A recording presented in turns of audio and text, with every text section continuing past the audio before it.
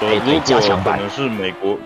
就是美国，如果是美国人的话，可能还看得懂；可是如果是国外的话，可能就会有点陌生，因为他们会牵扯到一些就是美国历史的一些重要事件，所以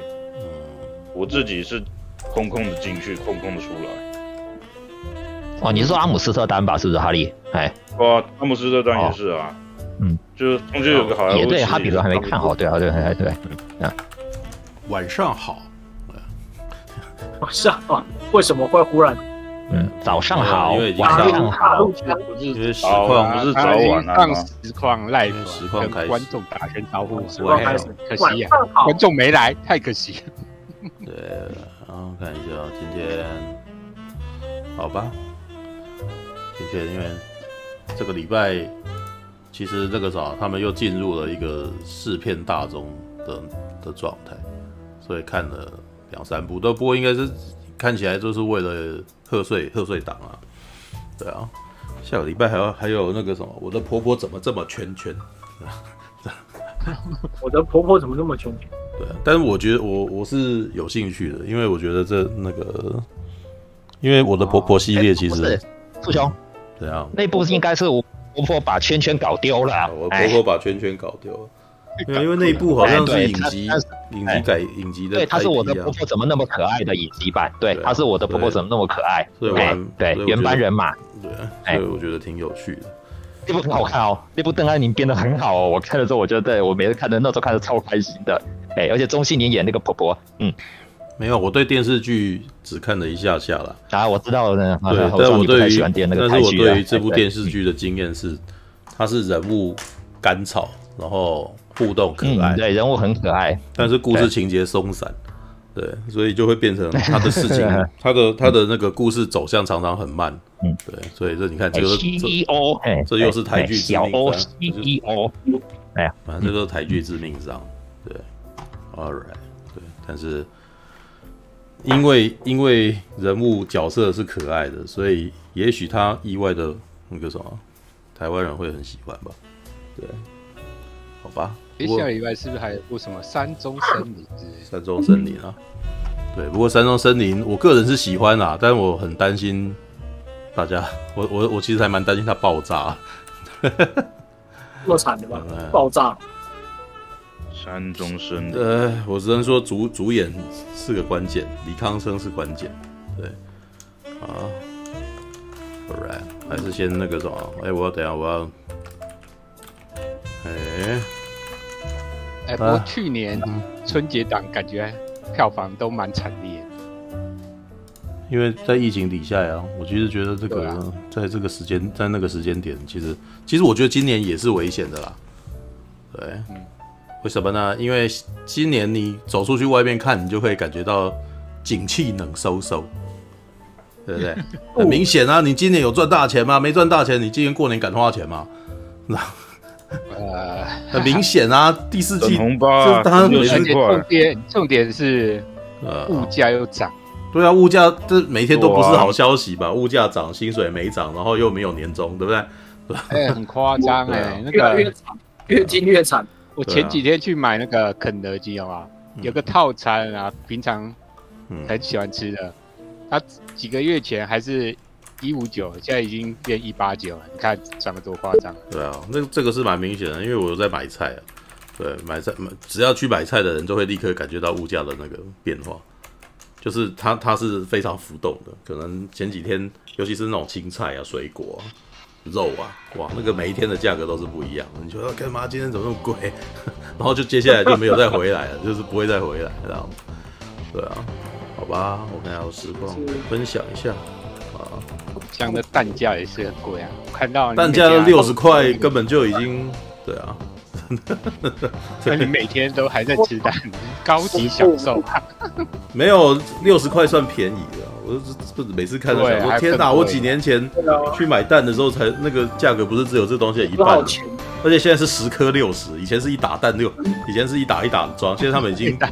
他们现在已经不敢装十二颗，他们只装十颗啊，对啊，对啊，伤心响。啊，没办法，而且这个啥又而且又又又没有什么赚钱，案子也没有接到那么多啊，然后叶配也没有，对不对？哦，好吧，所以那个可以去抖内。进进去只是首页，对，就是请请按那个帮我喝咖啡这件事情。对对对，就是当我们每个礼拜那个什么你们的入场费嘛，对，不不捐也可以啊，随喜发心，对不对？你说 U 你说退群吗？退退群那边可以抖，你有开吗？没有，我有丢过链接啊，只是因为因为其实以前退取有一个退取前面以前的页面有一个地方可以给你放抖内，但他们现在那个东西不见了，你知道，你只能用下面啊，对啊，那可是现在我自己找我都找不到那东西，对，然后就只有那个小起点啊，然后还是什么东西。可是其实这个东西，你你们你们要知道，做这东西就是退去它要抽成嘛，对不对？对，对，你加这个东西就是就是就是退去收钱啊。我其实就有严重怀疑他可能就是觉得他不想要，他他就是这这他也蛮想分一杯羹的，所以他加这么多东西进去。可是我每次看我都不知道那东西可以干嘛，你知道？你知道？小起点啊，说什么订阅以后才可订阅啊，然后什么的，对吧？奇怪的那个表情，嗯啊，对啊，但是我其实觉得这好像不是很，知道？他们就是放一堆东西可以让以前我觉得很多实况组他们会做的还比较聪明，你知道？他们会做各种图啊，然后各种或者是抖或者是抖内可以念出念出他打的字之类的。然后念出他的对，那个那个我到现在都还不知道怎么弄，你知道吗？就是但是找资料也找不到教学的，也找不到教学，你知道？大家都一副神神秘秘的样子。我会了，我就不告诉你，你知道吗？好烦。有吧？有我不知道？我不知道怎么去弄啊，找不到啊，就很难找。我找我录一份给你啊。国外的吧，嗯应该就有了。嗯，好吧，没有，就是应该会分享这个第这个斗内是那个什么 PayPal 的啦，所以如果有如果大家愿意的话，对，乞讨一下，哎呀呀呀，操，对，最近没按揭，对啊，啊，就是过年前就没有按揭了，Alright，好吧，今天我看一下，对，因为今天要聊什么？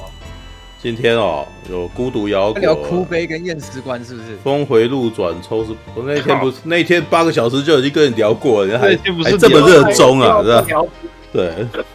然后自有梅跟山中森林炸团圆，对，这些有时间的话再来聊那天跟在干什么好了啊。对啊，还是你今天开场白想要想要讨论一下当天的那个什么，你们你们最后怎几点回家的啊？啊，搞了八个钟头之我后到家好像早上六点吧，啊。还是，五点半？梦啊，倒了八个钟头，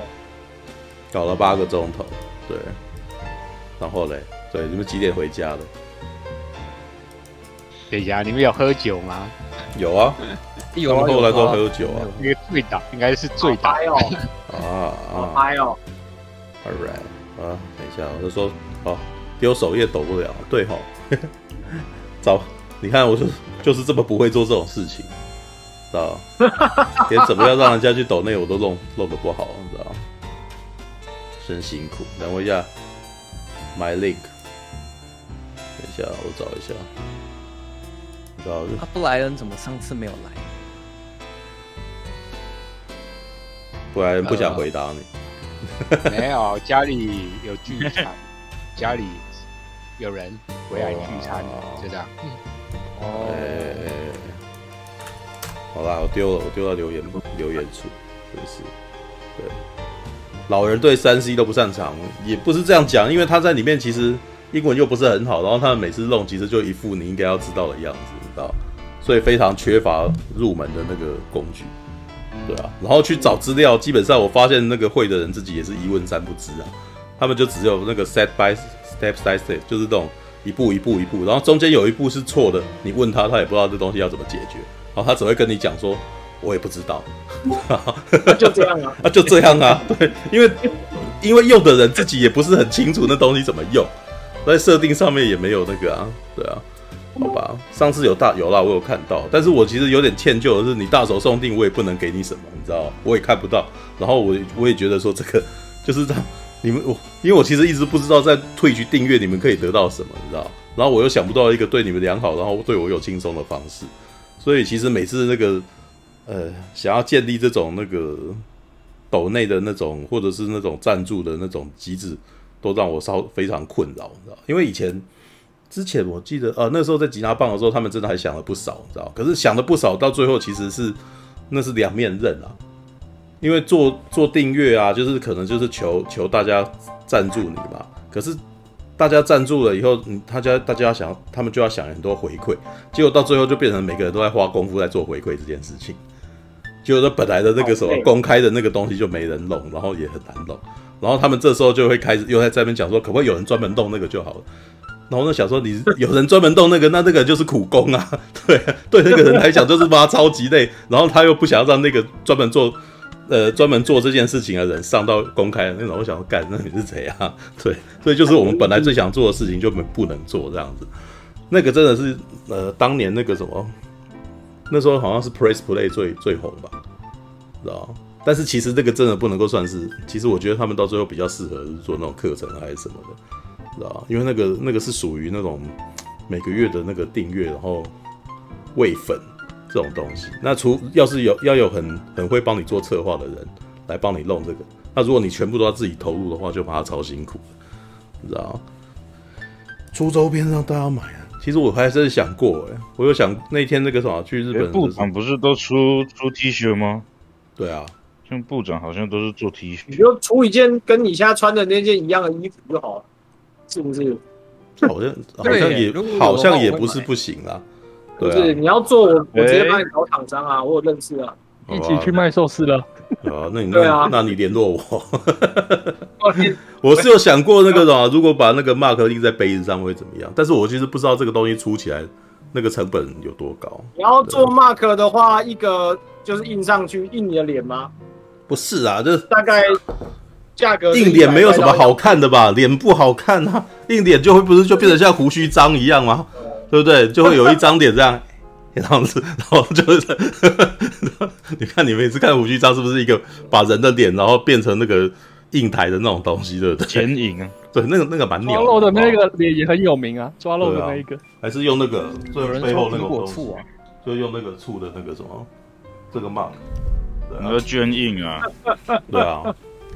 哎呦呀，啊我的背要背一个，你要嗯大概一百这个我到两百啊。啊，可以啊，没想到那个什么这边还集结很多能人呢。对，那呃，大家可以一起来合作一个。其实其实除了讲话之外其实做衣服或是印刷我会用啊。All right，不是你你这样子会变成什么？这把自己变成苦工人，知道对，一定要找一定要找到一个让自己最轻松的方法。厂商来弄比较，你比较不会那么累对。啊，那那个就是成本摊平嘛。不然其实，不然嗯其实就是说我大学同学也是在做这个，就是帮人家做捐印、T 恤军印那样子。哦嗯，，All right，好吧。而且如果他现在还没毕业的话，应该可以偷用学校的器材来哎、印啊。你这样子已经，可是你现在在公省开场合讲这件事情，不就好吧？然后警察就立刻抓到，知道？对。好，我今天我讲一个我那天看到了很好笑的新闻，你知道？早上起来吃东西都会看一下新闻，你知道？然后，诶、里面有一个新闻是趣闻，就是呃，有一栋房子，就是有有民众拍到有一栋房子，然后被一辆卡车载着走，这样子。然后那则新闻就是因为在台湾这件事情其实很少见嘛，然后大家就就就哦在传啊，然后说哦好厉害哦，这个东西怎样怎样怎样子哦，那个货的移动城堡啊，然后什么的。然后我正好看到的是那一则是台语的，你知道吗？对，就是台台视大概到中午的时候会有那个台语主播啊，然后报那个新闻嘛。对啊，然后他就那个那个什么，嘎西霍鲁为移动城堡这样子这样子讲这样子，然后那一则新闻我就报说，哎、我我也在那边看啊，边吃饭边看，觉得很有趣。结果你知道那只那只广告它最后的结结尾是什么吗？嗯哎、他谁什么人都问了，最后他去问警察啊，然后警察不动声色，你你你应该有看到各种社会新闻的警察的那个的画面嘛？他们通常都是站在门站在门口，然后后面不是有一个那个他们警察局的那个分局的那个的那个 mark 嘛，然后站在那边讲这样子，然后你知道警察说什么吗？说该车在画面里面它已经超过移动标准，必须要罚钱多少钱多少钱。然后我想要干，然 后我想说妈的，你新闻报趣闻，然后最后安插警察说他已经那个违规了，然后现在我要罚款这样。我想妈的，对吧？这记者好鸡巴，你知道吗？然后当发挥，就是大家看大家看到这个画面觉得很有趣，然后那个是是一个工程奇迹什么，然后最后警察出来泼冷水，你这个已经违规了，然后我现在要罚你钱，然后然后靠背，好讨厌哦。当发挥的。对啊，OK，就不要被记者看到，记者最后每件事都去问警察，然后警察看到了就罚钱这样子。对，然后还拍到车牌就立刻去找他，你知道吗？那个人应该很不爽。对，那个人应该超不爽的，都被拍到，知道？对，好吧，法规是没错啦，对，但是你知道，那那种那则新闻前面感觉其实是趣闻，结果他最后帮让警察来结尾，我觉得超好笑的，你知道吗？好啦 o k 好了，好了，好了，好吧，那个什么，非线性，你是你你上个礼拜看了这两部片，你是有问题要问我们，是不是？对，赶快给你时间问问。没有啦，我对，是只是提一下而已，没没有说特别。不会啊，验尸官很好看啊，我非常喜欢啊。对，因为那个那个什么，上个礼拜如果呃也没有几天前如果有看这个八个小时实况，就知道非线性在那个实况里面是非常非常的坚决的推我们看。我们在那个时候三点多睡眼惺忪，然后我们还被迫看了这一支恐怖片，你知道？然后熊宝那个 整个坐如针毡，我都觉得他都已经 盯盯在那边，他快要冻结了，你知道？你知道？他他他超害怕的，你 知道？对，好吧，验尸官很好看，对，好了，就是，呃，嗯，怎样？那个啥，熊宝，你的那个录音环境不好啊？固定环节吗？来，验尸官不是？我记得好像蛮久，有一段时间的啊，对啊，因为那天要看，怎么可能会看院线呢？对不对？对啊，那大家一起看，怎么会看院线嘛？对啊，然后还有什么？嗯，哭悲哦，哭悲也很好看啊。对，哭悲我其实觉得算是那个台湾 B 级片里程碑啊，是啊，对，应该是。哎，我也这么价这么高哦，真的，真的真的就是我看到那部片的，其实它如果你用全世界的标准来看，它不是它不是多么好的 B 级片，对，但是如果你以台湾的水平来看的话，这是台湾人从来都不敢做，也不也不能做的事情。对，而且其实我觉得以我自己的观察，它其实在 B 级片里面尺度也算是清淡的。啊，就是那个那个也不过就是特殊化妆而已。我我从头看到尾，我并没有因为他的那个脸烂掉啊，或者血浆很多，我感到很害怕。对我顶多就是手指被剪断了这一段事情，我被惊到。但是其实，在任何影片里面有任何电影里面手指，你任何一部片手指被剪掉，我都会被吓到。对啊，对，所以不是那部片厉害，是那个啥，他就是中我的罩门。我就是不喜欢肢体断折的画面而已。对啊，他至于题至于内容。贴近生贴近生活，我其实觉得场景在台湾比较有感觉啊。嗯，我觉得还好，我觉得还好，因为它没有那么的，因为它那个戏感太重，你知道吗？不会让我忘记，不会让我忘记他们在演戏这件事情。就是有人说有个角色像韩国语，是不是 角色都很像韩国语，不止一两个角色韩国语啦，只是没有没有。呃，我基本上以觉得以娱乐感来讲，他的演他们的演演技是有到位的，但是因为这这部片的表演参差不齐，所以我比较不会自然而然的融入这个情绪当中。当然，我那天看片的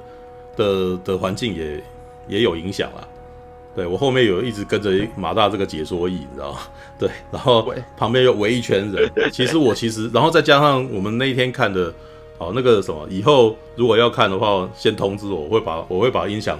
搞好，知道 因为因为那那部片子那个那个我们我们在看电看的那台电视的音响其实很尖锐，所以也不会有什么音因为音效而让我冰冰冰冰啊，叽唰叽唰这样子，没有，不太可能。所以它它是减损了非常多的感官刺激，对，所以我都会用比较粗细的方法来看这部片，知道对。必须说，当天因为刚，尤其是刚开始看的时候，嗯，马大一直很兴奋的讲解，所以很多时候其实他是文戏希望你沉淀情绪，然后去融入氛围的部分，全部都，嗯，全部都在对谈当中度过了。所以到最后，其实因为我们去电影院看的时候，其实很多时候是感觉很不舒服的，嗯，可是因为那时候就是前面的氛围已经有点被破坏掉了，大家比较轻松。反而后面他真的开始要让你不舒服的时候，大家就是还没有我我自己觉得啊可能就没有进入那个那个情境，然后就会觉得哎，怎么你做的这么这么荒谬这样子？就可是就没感受到他想要给人的那种恐怖的力道。否则否则，如果这部片真的像柱哥讲的说他在全世界的 B 级片都还好的话，那他怎么可能在现在这么多各地的 B 级片影展都获得肯定？所以他肯定有。做到一些就是连外国人看也觉得说，哎、还挺特别的地方。嗯那当时这也是为什么当时我啊，然后然后大侠呀都很推这部片的原因。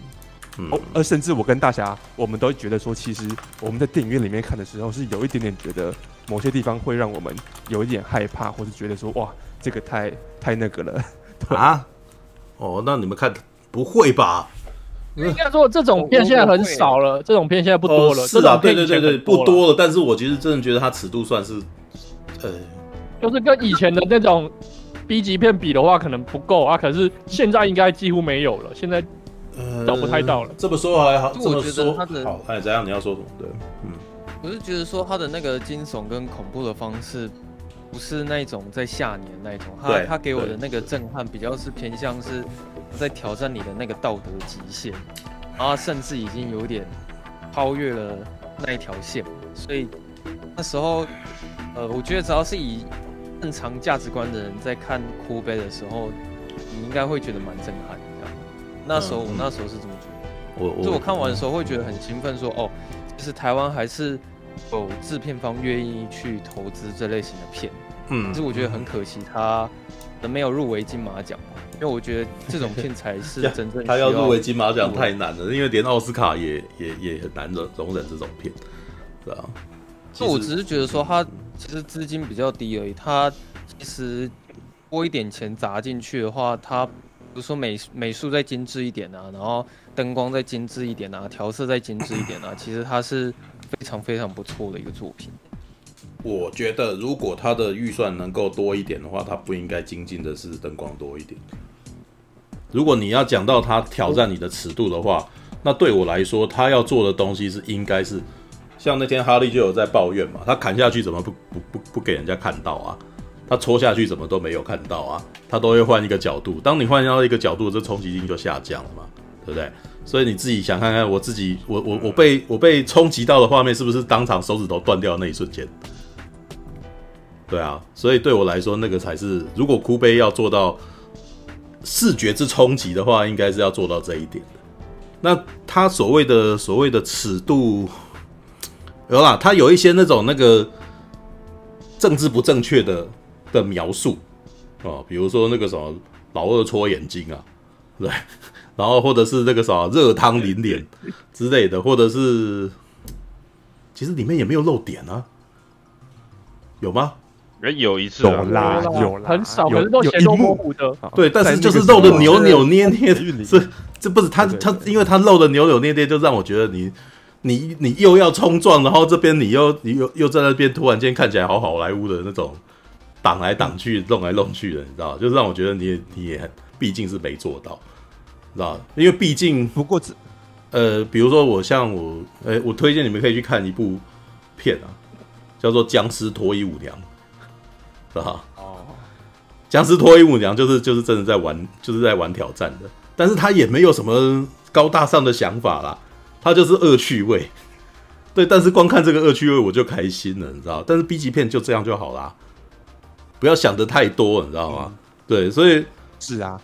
呃，僵尸脱衣舞娘，如果你们看的话，你们会说，哇，干这个有够逼的，因为他们他故事其实也是在讲一个军方，然后经过一个小镇，然后僵尸掉到那里面，然后特遣部队出来之后，他们穿的衣服看起来就是一副，你真的是去这个商商场里面买那个什么，买买迷彩服穿上就说你是佣兵了那种感觉，对。然后里面几幕有一幕是我在看到那个什么破，就是那种在三更半夜看到那个笑到我妈都上楼上都知道我我在楼下大笑，你知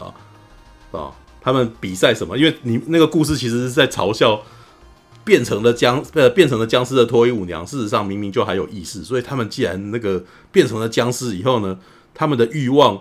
不只是吃人肉啊，他们欲望争风吃醋，可能那个什么还有谁出风头这件事情还在他们僵尸的脑袋里面，你知道？对，所以就变成他们会呃人跳出僵尸啊，然后人宁可自己变僵尸。然后最后两个僵尸的脱衣舞娘 stripper，然后就开始打起来，就开始 girl girl fight，你知道吗？girl fight 里面，然后那个时候就突然间玩了玩起了那个他们那个脱衣舞娘常常会表演的极限运动，你知道，像所谓阴呼呃他们的那个什么呃喷射乒乓球，好，你知道 脱衣舞的的其中一个那个什么才艺表演就是喷射乒乓球，你知道然后变成僵尸脱衣舞娘那一段，然后他喷射的变成保龄球，然后那时候我大笑，干这太好笑了，然后然后喷出去的保龄球像炮弹一样，然后就砰打破那个墙壁这样子，我就觉得超超幽默的，超好笑的啊、对，就是我觉得呃，哎，这部片叫哭悲。哭悲他有很多黑色幽默，但是这个黑色幽默到那个其实又让我觉得他的这个佐料真的有点太淡。但也许是因为我是常看电影的人吧，我才会觉得它太淡。当然对，如果他是对于一般人的话，那呃，这可能就是麻辣锅等级的东西，知道？对，好吧，就是我必须讲，因为嗯哼，其实听楚哥的说法就可以知道，其实楚哥很在意的是那个那个画面的冲击感。就是我已经有兴趣了，那你不要这时候收手，是吧？我这时候就觉得，哎、那你接下来应该要干嘛？结果你这时候，哎然后我就有点失失望，啊，那那我为什 而且我还知道你为什么收手，你也怕了嘛，对不对？或者是你没钱啊？对我，你没钱我还能够理解，那有钱那你就多做一点，我倒不不想让你拍灯光拍的跟那个什么跟验尸官一样。那天我在看的时候，我也在讲，啊，验尸官哦，那灯光真漂亮啊，有没有？对啊，对你你一看就知道，库贝的灯光跟美术其实就是绝对比不上验尸官了，对不对？哦，对啊，光是那个罗，光是那个尸体，你知道，我靠，美轮美奂的。对对，当然那个目的不是这个，因为那部片其实那个尸体很重要，所以那个尸体拍的超美的。但是你他你可以注意到那部电影《验尸官》，他连一些呃，比如说那个什么老人啊，他自己在房间里面，然后他打开灯啊的那种画面，哇，那那个光线之柔和。我们说，我还记得我那时候脱口的时候，哇，我房间要是再挂的这么漂亮就好了。知道吗？对不对？我们实况现在那个什么半平处的点就会看起来很好看，对不对？就还会出现我脸颊那个皱纹的沧桑啊，然后还有还有他忧心的那个角度跟他的那个的立体感之类的，有没有？那你在酷贝就看不到全光啊，对不对？然后当然他里面讲他故意让人的脸看起来很锐利化，所以他身脸上的雀斑啊、青春痘都看得清清楚楚啊，对不对？可是那不是 B 级片的我觉得 B 级片拍那么漂亮，好像也不对吧？没有啊，也有 B 级片拍那个东西拍的很漂亮啊，比如像目的是要让你不假设像人造意识吧，人造意识它其实就是两个人，然后它就会拍的很漂亮啊。因为它没有要让你不舒服啊，嗯，人造意识有啦，人造意识有想要让你不舒服啦，对啊。不，是不是那方面的，只是他们在拍那个东西的时候，还有还有一部叫那个《Hard Candy》啊，对，那个，哎、暗恋那个什么，那个女生叫什么名字？靠背，我们两个灵魂的那个女主角叫什么名字？对。啊，你说有演过 X Man 那个小，X Man 的那个小女，她现在已经是男生了啊，什么什么艾略特。啊，她现在已经叫艾略特。说，艾伦佩基哦，艾伦艾略特，艾伦佩基，对，对艾伦佩基她早年出道的时候的一部电影叫做《Hard Candy》啊，援交什么？援交惊魂什么，就是一个男生，只有那部片只有两个男一男一女而已啊、就是一个男的，然后招妓，然后招到这个女生，结果后来那个女生结果用心理惊悚啊，那是他们在对话到最后，结果那个男生被绑起来，然后被那个什么被割蛋蛋，对，被割鸡被割蛋，被切啊，对，就就变成那个女生其实是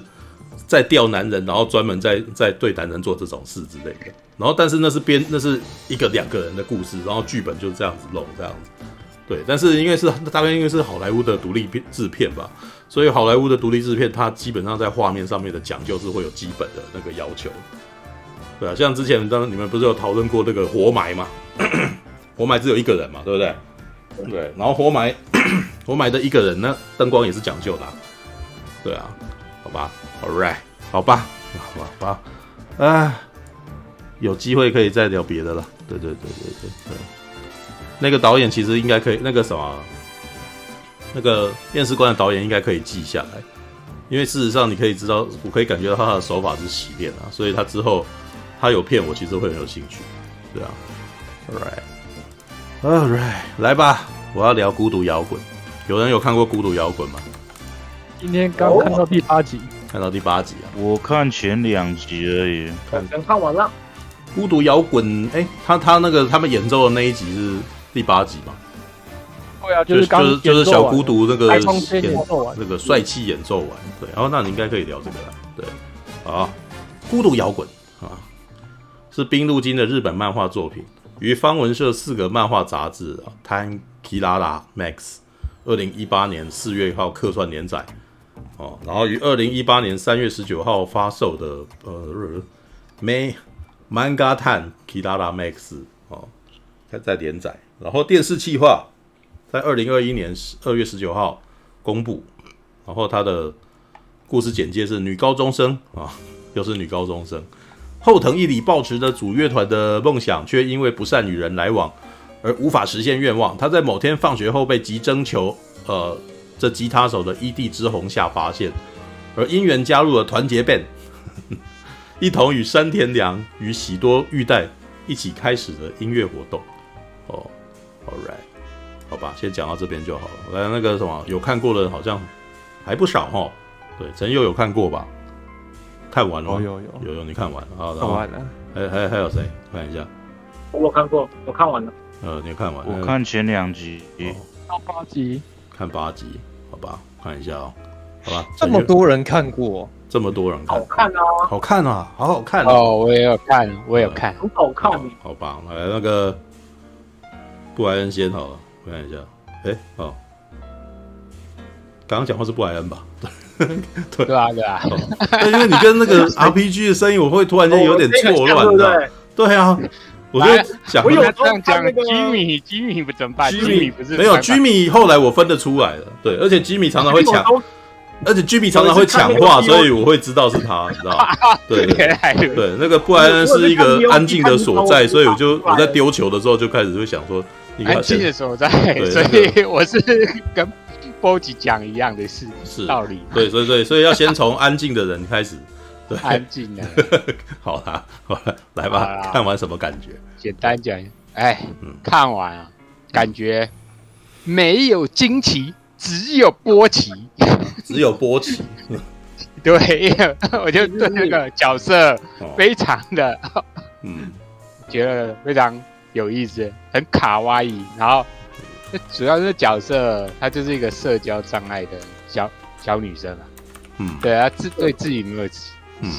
没有自信，可是她其实又很渴望去交朋友。嗯那她只要，因为因为她平常就没有朋友嘛，所以 她就只能自己那边弹吉他，而且嗯她都很喜欢躲在那个阴暗的角落弹吉他。嗯然后终于有一天找到那个志同道合的伙伴啊，嗯。然后就开始玩音乐，然后开始慢慢敞开了心房。嗯。然后就是，可是我觉得这部有趣的一点就是，嗯。就是角色的造型嗯。蛮讨喜、蛮可爱的。就是他会有时候就是会，比如他慌张的时候，他会变脸会变得很囧，嗯。然后会出现那种小剧场，有没有？嗯比如说，呃，人家称赞家啊哇，你已经跨进了一一大步了，结果他内心的 OS 说啊，我觉觉得我已经跨跨出了一千步，结果那个他的脑海里面浮现的图像是什么呢？好像变成那个摩西啊、要找石阶的时候去攀登那个嗯，那个阶梯，有没有？就是 那个画面就马上就出来了。嗯我觉得他这部有趣的地方就是他角色常常会突突然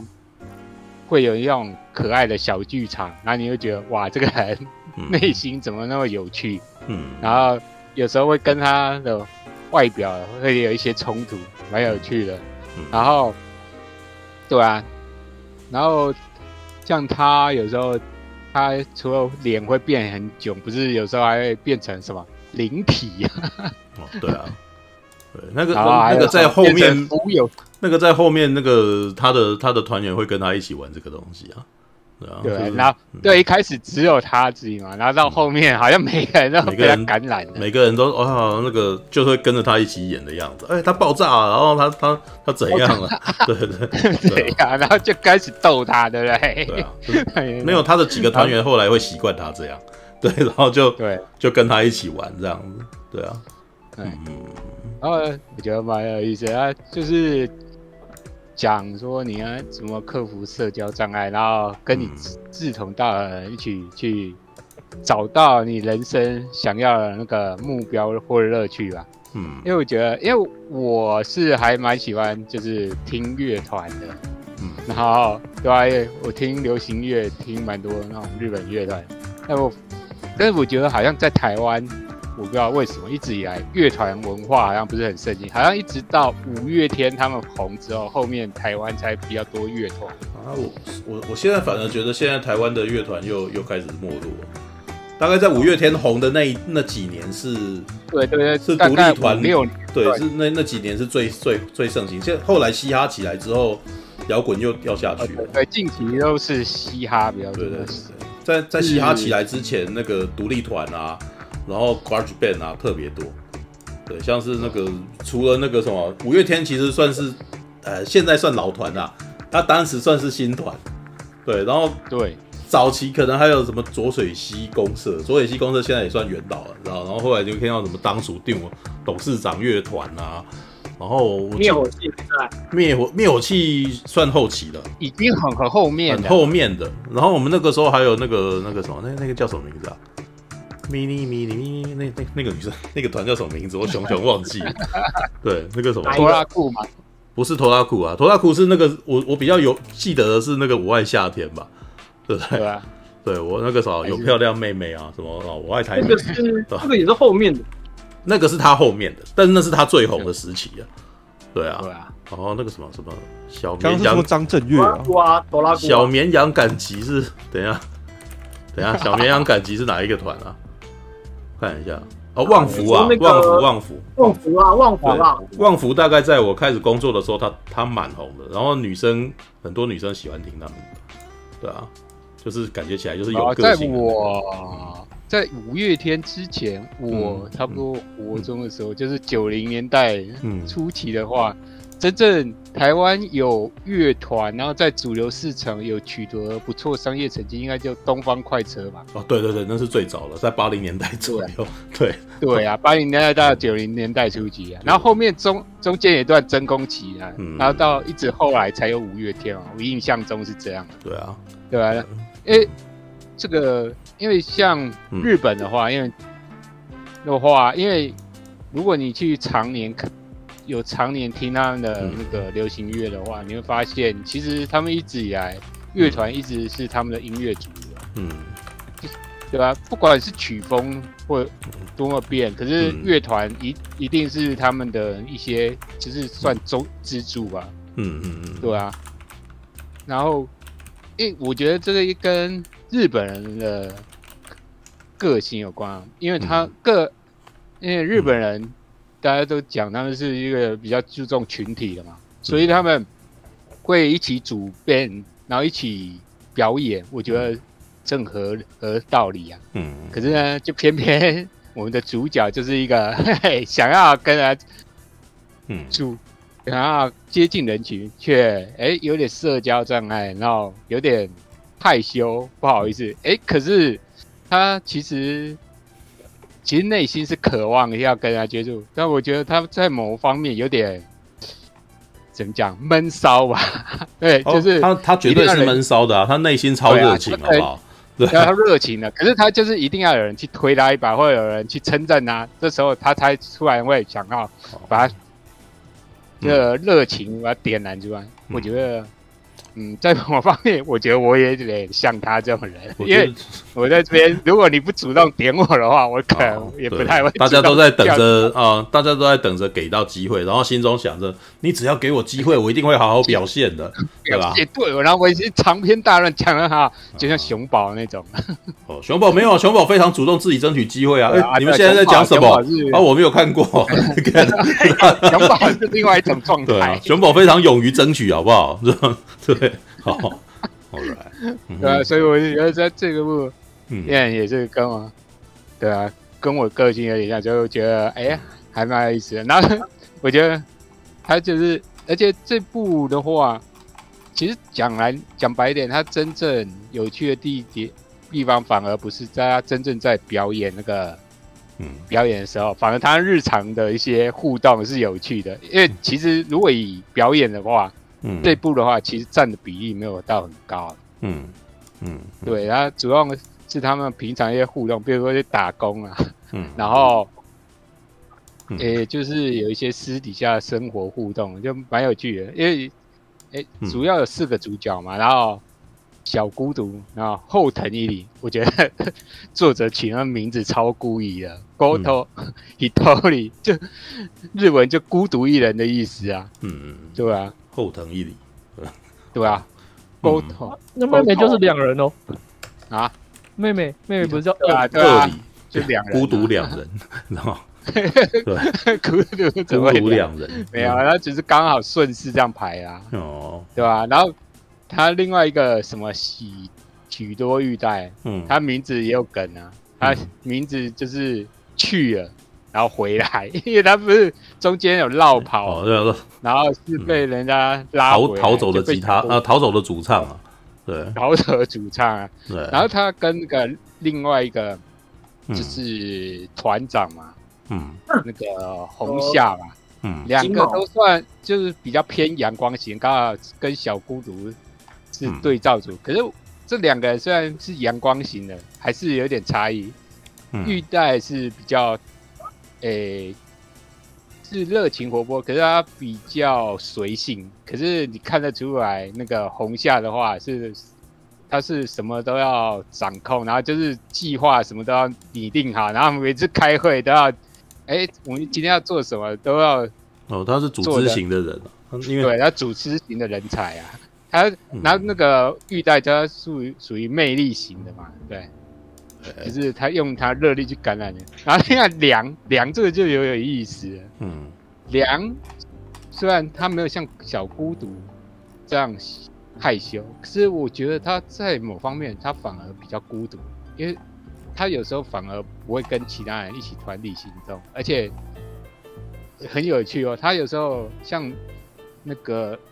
嗯玉带或者是那个谁红夏要约他出来的时候，他反而没有不会出来，而且他常在别用奇怪的理由，比如说我奶奶在什么观察期，关键期，对关键期，结果结果画面一转啊，他人在那个唱片行业听音乐。对，我觉得他这个就是种比较喜欢自己一个人，他不是那个小孤独是怕孤独，想要找人一起玩。他可是他不一样，他是单纯的只是喜欢一个人待。对对对，在某方面我觉得那嗯，个梁反而更梁是真的窄啊，他还蛮明显是真窄的。对，因为我们上个礼拜，哎、我们那天吃火锅的时候就有聊过这个人啊，对不对？梁的情况就是，呃，我们那天不是在聊谁是潮谁是宅嘛，你知道吗？对，对，他的宅度大概在最后一集就跑出来，因为他们去去挑吉他的时候就，就整个他他突然间陷入那个解说一模式嘛，陷入解说一模式是很标准的宅宅宅的那个的行为，你知道，就是哎、很想要告诉人家这件事，然后讲个不停这样子啊，对啊，是不是？然后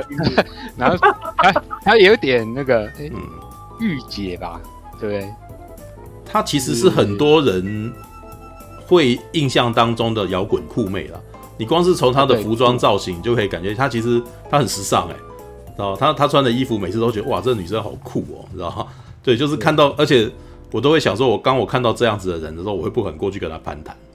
知道吗？对啊，对，但是这种人的个性，事实上他意外天呐、通常通常后来有认识都会发现这种人很天，对。但是他穿这种衣服就不愿意跟人家对话的时候，你就会觉得他好像只是在，他好像就是那个什么不喜欢你不欢迎你啊，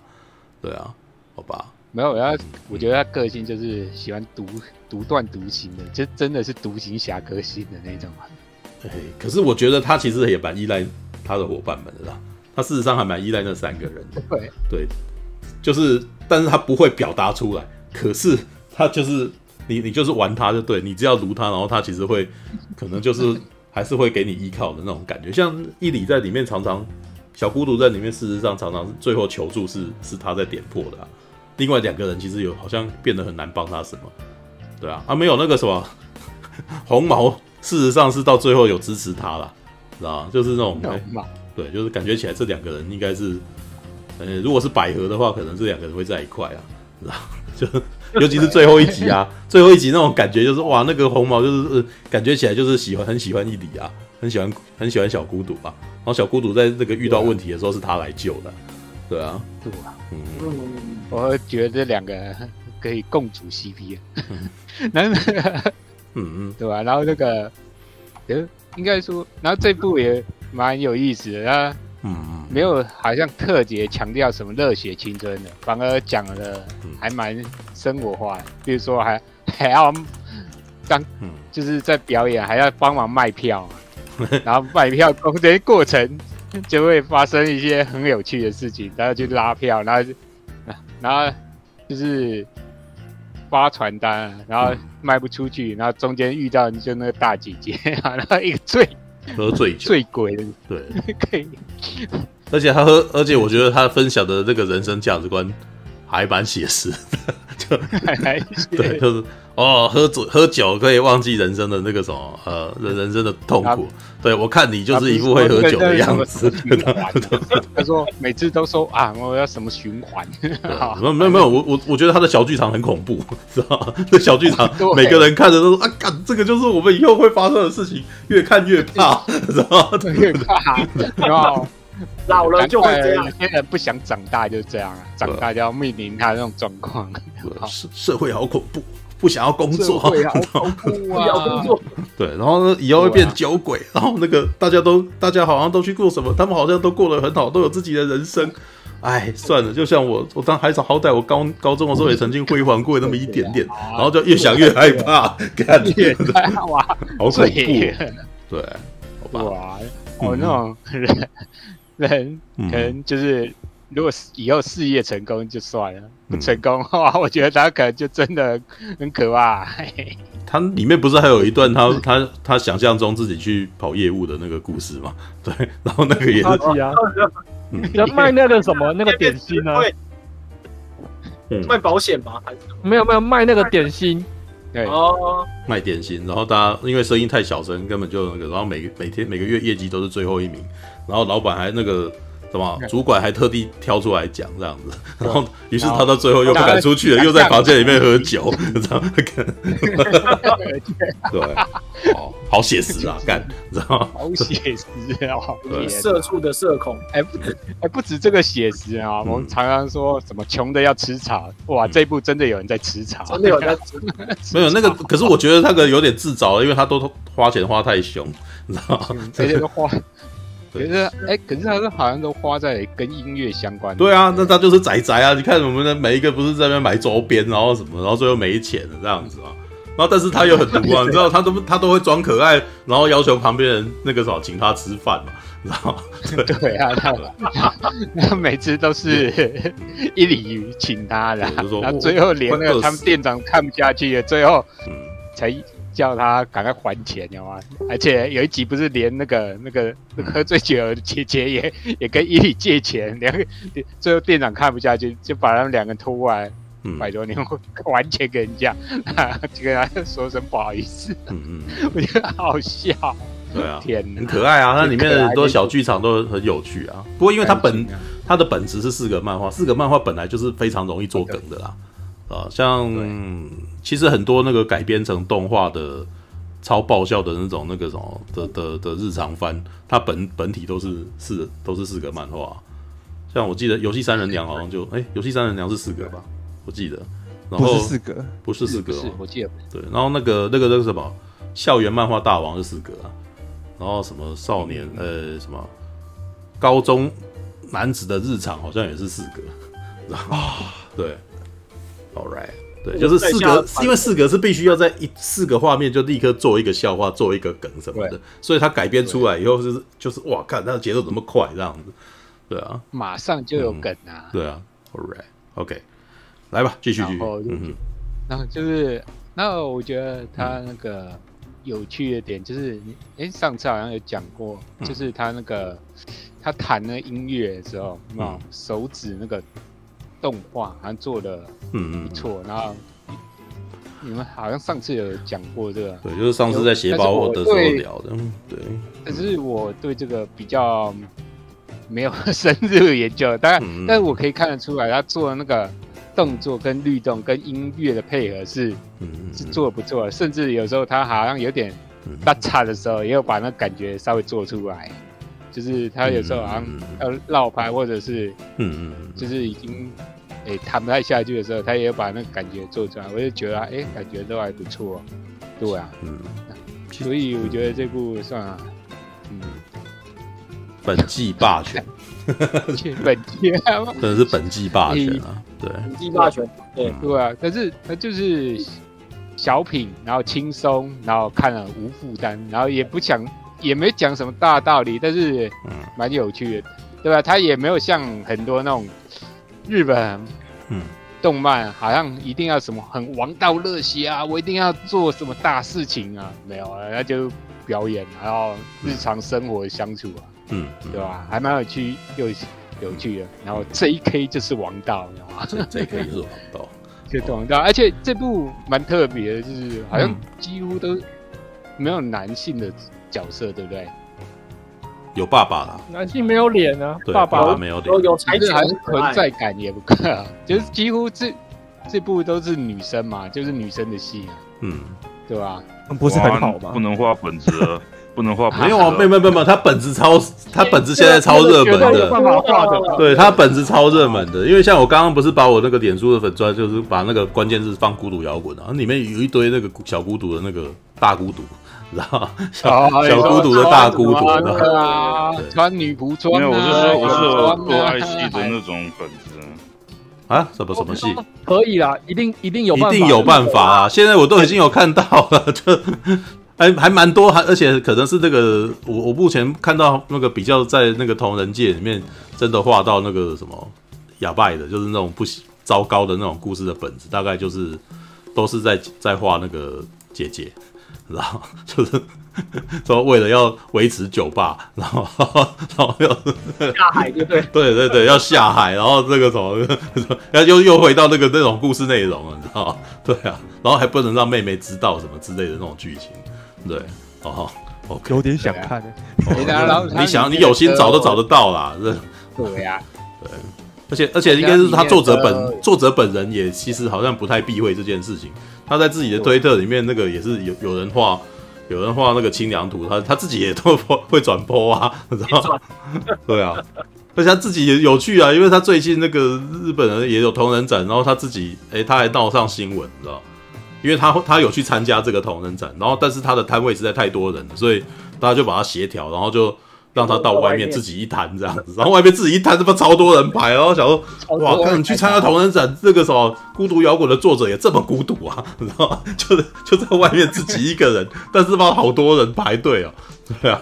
好吧，OK，哦，All right？嗯嗯嗯，好然吧，我觉得嗯嗯现在看这个的话就蛮轻松的，就是有时候轻松无负担，有就是他跟那个一般那个日本漫画常的强调要什么远大目标啊，什么热血啊，什么啊，就比较不是那种形象。然后有时候会觉得，哎、看完之后你会觉得，哎、嗯。人生啊，就是有苦有乐，有时候呢，你不要想太多，不要往未来想，也许是个好事，就把现在嗯自己做好就好做的事情做好就不错了，对吧？我觉得还不错，而且他用的那个几首歌，我觉得也不错啊。然后那歌词内容，就是有反映了角色的心情，我也觉得还不错。嗯嗯嗯嗯嗯嗯嗯，All right，好，来等一下，还有我看一下啊，还有谁看过？刚刚提到那个举手下面不一样，啊，举手要怎么举？没有不用举手就讲话就回话吧，是吧？啊，RPG 啊，RPG 啊，RPG 我看啊，哦，就是，哎、其实我觉得这部戏就是一开始，因为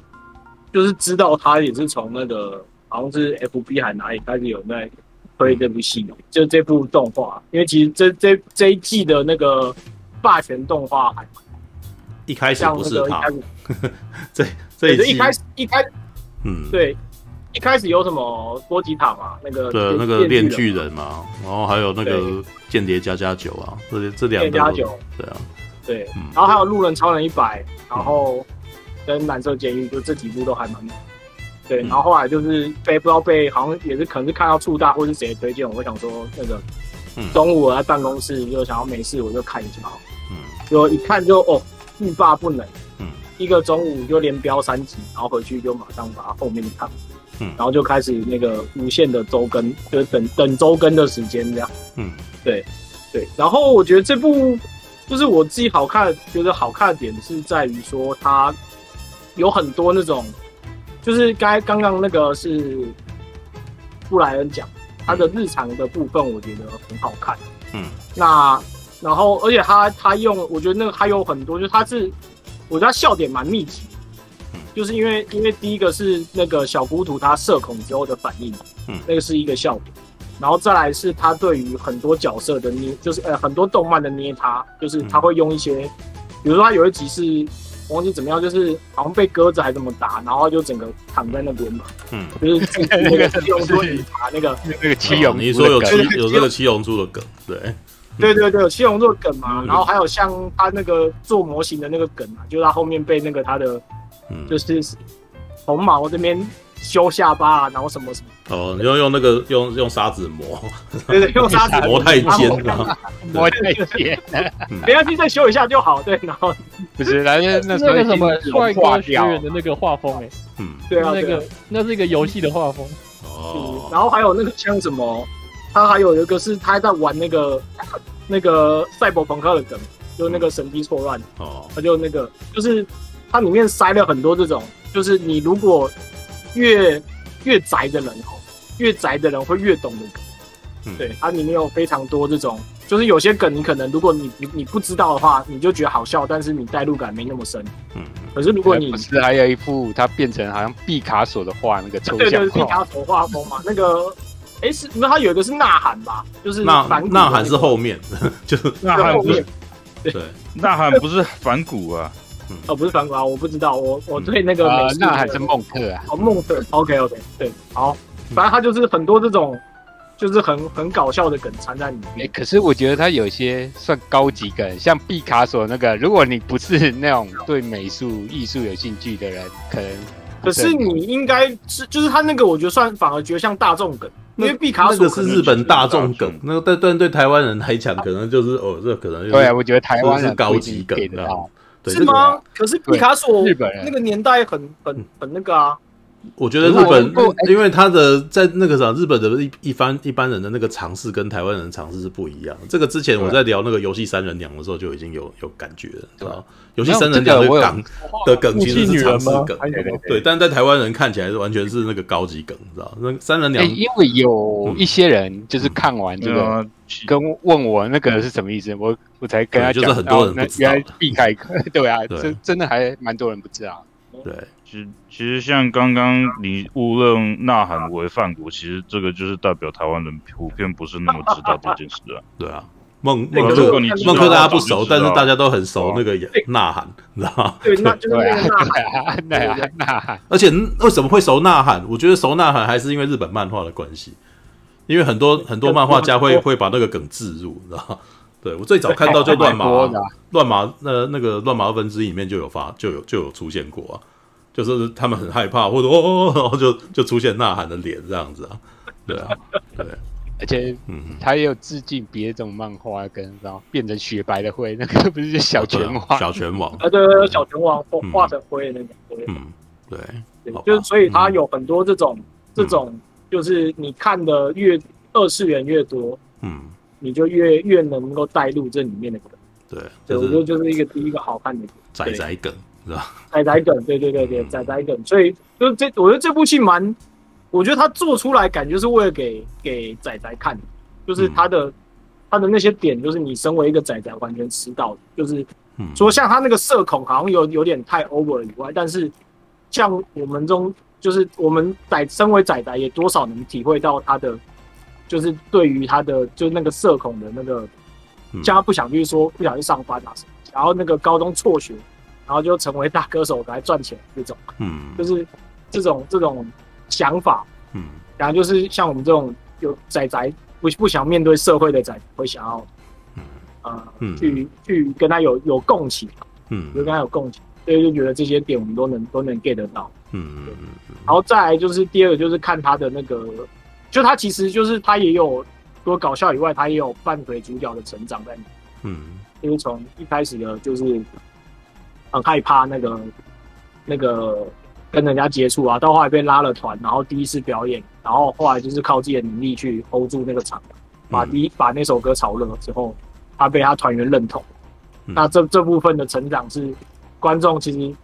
看看到那一集的时候，哎、都会忍不住，我看完一看完一遍之后，可能再刷一遍的那个、有那种热血澎湃的感觉。嗯，对然后不过他他我觉得他里面有个很好笑的点，就是那个小孤独很容易就是，因为前面那个布莱有提到，很容易就是尾巴很容易翘很高，嗯。就是别人称赞他一下，就说，哎、那我就是要马上变成超级有超级有名的，然后我要马上出道什么，然后就旁边那个蓝毛就再戳他一下，说，哎、其实你嗯嗯。是一个，嗯。就是我觉得蛮蛮好笑的一个点。嗯。对。然后可是，诶、就是我讲一下，就是我最后觉得有一个稍微小小的缺憾，就是他最后一集啊，就是虽然说大家都觉得他收的很好，嗯可是我反而觉得有一点点，就是他那三首歌好像没有他刚开始在他那个在地下坝的那个地方的第一首歌、第二首歌那么蓝。嗯就是那个那个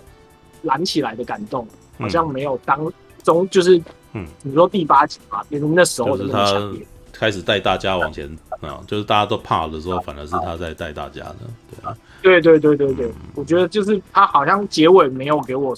有一种再推向一个高峰了，嗯。反而是有点下滑，拉到有点好像平淡，让他稳稳的过就算了嗯。的这个这个感觉，嗯，就是我觉得有点，呃，可能是一点点小小的挑剔，失落，但是他也，嗯啊？嗯，怎么样？你会觉得失落，知道吗？对，有点失落，就啊啊完了啊，就就就这样完了，对对对，就是这样子。嗯，对，然后，诶、他他那个中间有一些那个，就是我就是讲在讲那个二创的部分啊，我觉得那个不知道是那个制作组故意放进去还是怎么样，就是他就是就自从那一集开始，就是那个他那个蓝毛不是说没有钱，然后说要就是叫小小孤独拍的很清亮，然后去拍 YouTube 啊什么什么的，对。对，因为那那集之后，那个二创纷纷就是大孤独纷纷都跑了出来。嗯，我 不知道是不是 制作组故意的，制作组故意的，没有没有，据说在漫画本体就已经提到哦，我有我有稍微去找了一下他们的前几回来看啊。其实前几回作者其实我我我反正觉得动画还把尺度收了，你知道吗？因为记得前两集有一段他是为了不想要去不想去打工，所以他他拼命的啊是不想表演，好像还是不想打工，他就把自己泡在浴缸里面的那一段啊，然后他在吹电，啊。然后吹电风扇。电风扇，对那一段他穿衣服穿的比动画里面还少，你知道吗？真的啊？对，然后他自己拍然后自己拍那个什么拍 YouTube 的时候，其实就已经对，因为也是不露点的，已经知道吧已经已经经走那个已经有一点点对对，已经有一点点性感风了这样子。对，所以我觉得，所以他的这个吐槽到动画的，我就是觉得，哎，这也是我觉得作者事实上并感觉起来不是很忌讳，不是很忌讳这个什么情色议题啊。对，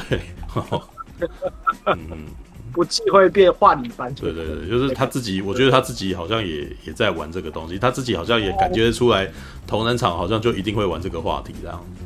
我看到的是那个什么原原版漫画是穿内衣啊，对啊，穿内衣啊动画版穿上死裤水对啊，那可是我是觉得对动漫迷来说，其实死裤水比较有吸引力。呃，我觉得我我是觉得内衣的尺度比较大的，对，但是他可是那现在动画里般人来说，啊，可是对于仔仔来说，其实死裤水魅力比较大。诶，好吧，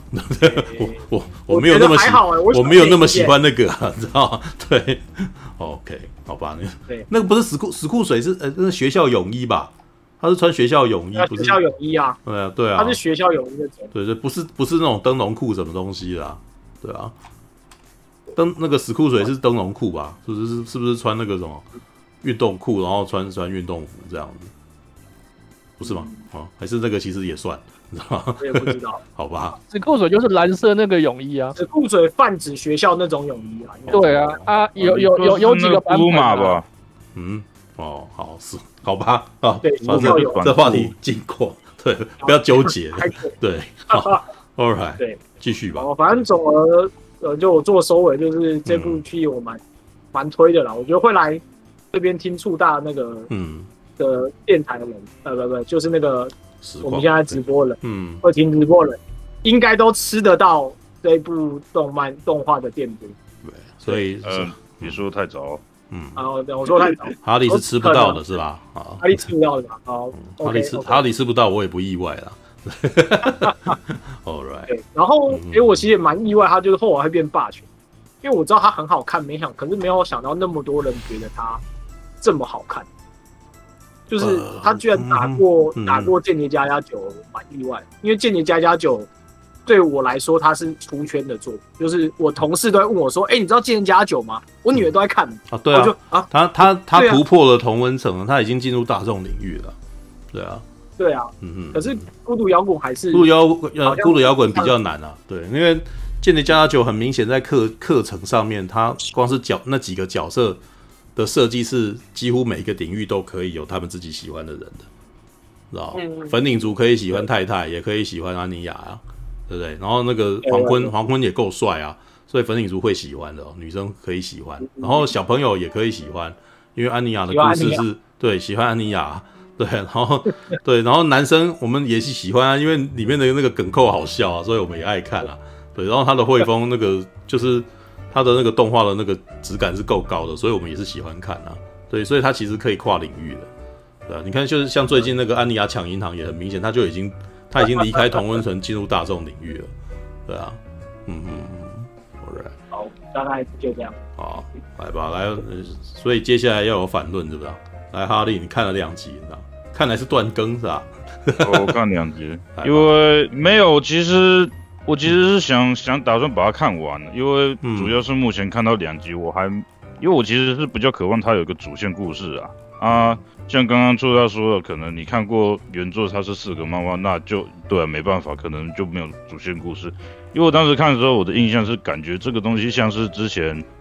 好像高中时候看到有个番叫做那个我不受欢迎，好像都是你们的错。就是这一部不知道大家有没有印象？它的类型其实差不多，就是一个有社交恐惧的，然后一直在内心小剧场，嗯，然后就是在对那种厌世的那种感觉什么的啊。因为我当时主要是看，是因为，当然因为这个东西已经热到，就是说我躲躲不开这些东西啊。然后我的朋友、我的朋友、我的客户都在叫我，就是说，哎，那个什么，叫我画图啊，不然就是叫我做娃什么的。嗯。然后，所以我就是想说，啊，虽然我没兴趣，可是想说做一点功课什么也好。嗯。然后我去看的时候，其实就是。哎，我其实对第一集的开头还蛮有好感的。刚开始看的时候，因为其实我觉得刚开头的时候，就是他有大概蒙太奇描述一下，就是说哦，他没朋友嘛，然后到呃国中的时候，然后看了一个电视节目，然后才跟大爸爸借吉他。嗯，然后我当时看到就是说，他在这个第一集片头之前那个蒙太奇描述，我我觉得他的作画很不错，而且就是说。我觉得这一部应该是算是背景画的很好的一个动画，因为它都蛮精致的，而且就是说很多特殊角度都有用出来。然后就是因为就是在片头之前，他的作画其实都很细腻，就是说因为当当时还是留短头发，我会看到就是说瘫坐在沙发上面，头发那种有点倒下来那种柔软的感觉。然后，可是我知道就是说过完片头之后。他又变回，就是说我之前常常说的，就是说，呃，角色差不差不多只有半身像，然后这种那种描述，就是那种，而且甚至就是说，像我之前所说的，就是说可能有三 D 啊套二 D 东西也有出现在我眼睛中，就是尤其是它有很多角度是那种摄影机放在地板上，然后去拍角色，就是说脚脚步走过去的，就是我每次看到就是。应该说，他每一个这场镜头，就是拍脚步走路镜头，应该全部都是三 D 的，所以，嗯，至少没有那么刺眼，没有那么明显。可是就是说，其实还是看得出来，嗯，对。所以，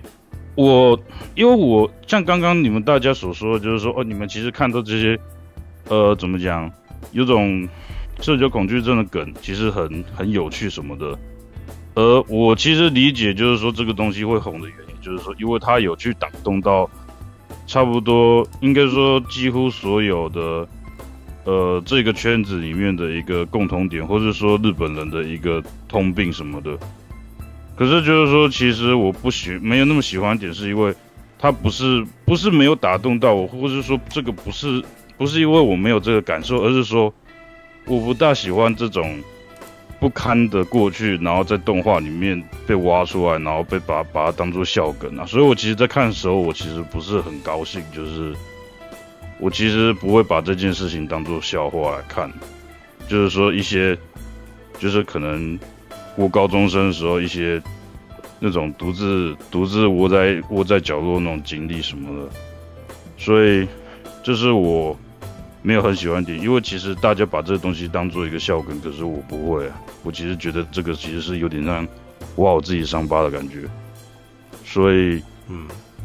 还没走，我会慢慢的继续看。通常走出来才可以笑看过去啊，走不出来就哇，现在还很痛啊。对，讲出来就感没有，我不是说痛，而是说，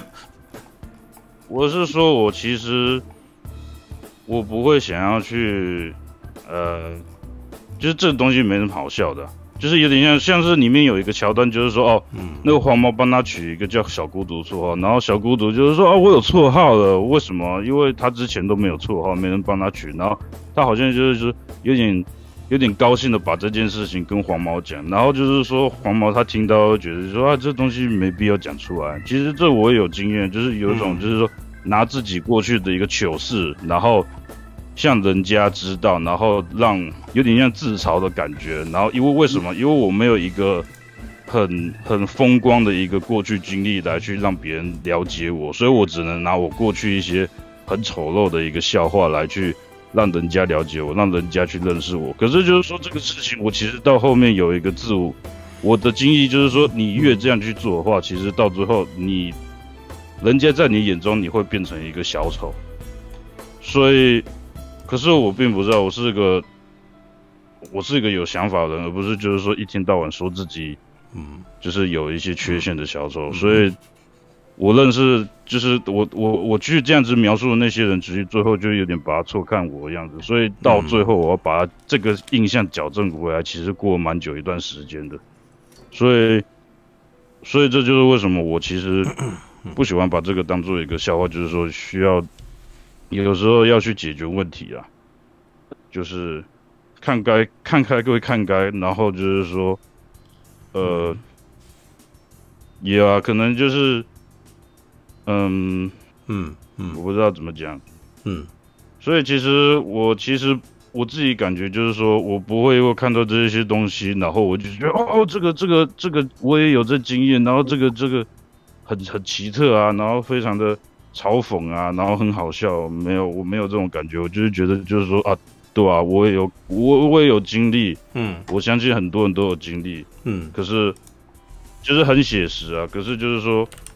我不会觉得这是好笑的事情，像是说，如果我们谈论到什么校园霸凌的过去，然后应该就不会有人认为这件事情好笑的，对，所以这个应该是分程度而言，那。这个东西我会不会看下去？其实我应该算是会，可是就是说不会，就是说过一个晚上把它追完，可能一天看一集。因为我现在有有心想要看的动机，应该是说看他这个时代这个动画要怎么去用这些技术把它做还原呢？因为像我刚刚说，我其实我眼睛不较尖，我还是可以看到一些就是三 D 套二 D 的一些。呃，一些疙瘩在里面，所以，嗯，但是我觉得他这一部的风景算画的好的，对，嗯，就是用他，所以他风景不是不是照片转图片嘛？我一直都觉得有些人不是啊，感觉起来是拍照然后去做，没有他们，他们这样子画通常都是说他们有实景，可是这个实景他们只会描那个轮廓线，他们只会去打他的那个清景泽的那那个他的那个舞台里面，感觉起来好像。有点那个，有点直接转的那种感觉。还有他几个，有啊，可能是我看的还不够多啊。也许我只看到第二集，所以可能也许后面会有。因为其实你要实际上面去做出一个不存在空间，其实还蛮困难的。就是除非这个公司有资金，就是叫什么室内设计师去设计一个设计一个空间，然后叫他用那个呃，要叫他去用电脑去渲染那些光线，才有。他这一步通常就是说。我们有个实景，嗯，然后制作制作组去那边拍几张照片，然后回去用用那个会叫电脑去画，所以其实是这样，很多那种剧场版动画也是这样套的，因为嗯，对，真的就是说你要你要去设计一个不存在空间，其实是还蛮困难的事情。没有，因为比例那些的，我我会这样讲，是因为他这个很明显是清景泽啊，就是就是日本的那个嗯。乐团圣地的一个，它有很多名场面跟名名呃有名的地点啊，都已经有人跑去巡礼了，就是哎这个这里就是它里面的哪里这样子啊，对吧、因为它它还是它一定还是要做做处理啊，因为如果它真，因为因为怎么讲，你就算他画的很精致，可是他看起来还是用画的啊、看起来还是用电脑画出来，用用戏剧画出来，因为如果真的是直接直接转的话，其实会。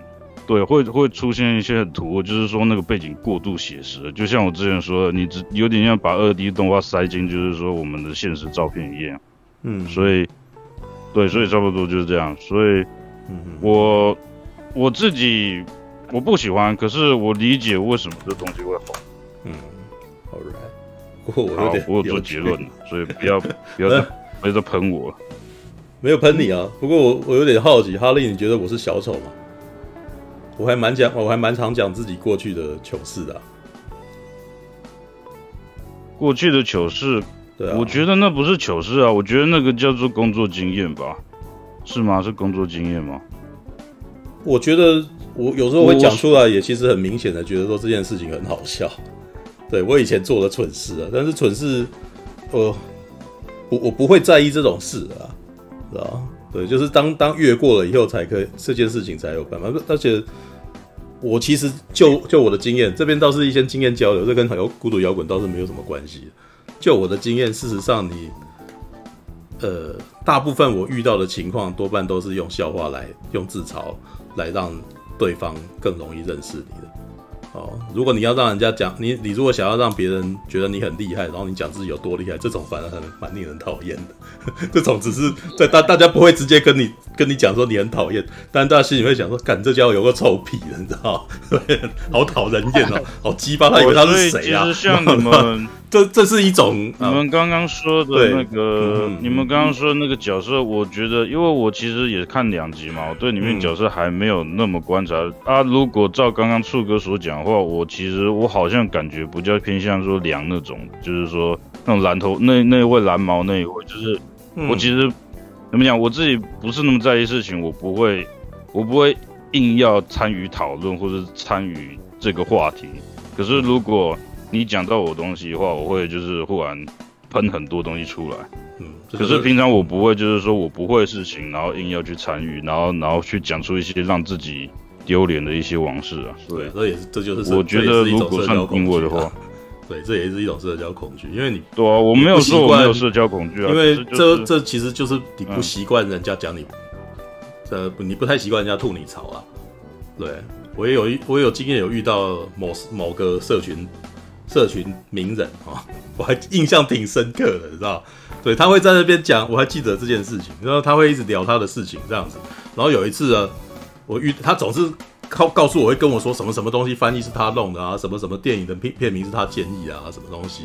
然后只是有一次排队，然后有时候吐槽，有一次我就吐他槽，呃你上次那个什么不是讲这个，那怎么没有这样？然后就这只是开个玩笑，这是那种人跟人讲话的那种，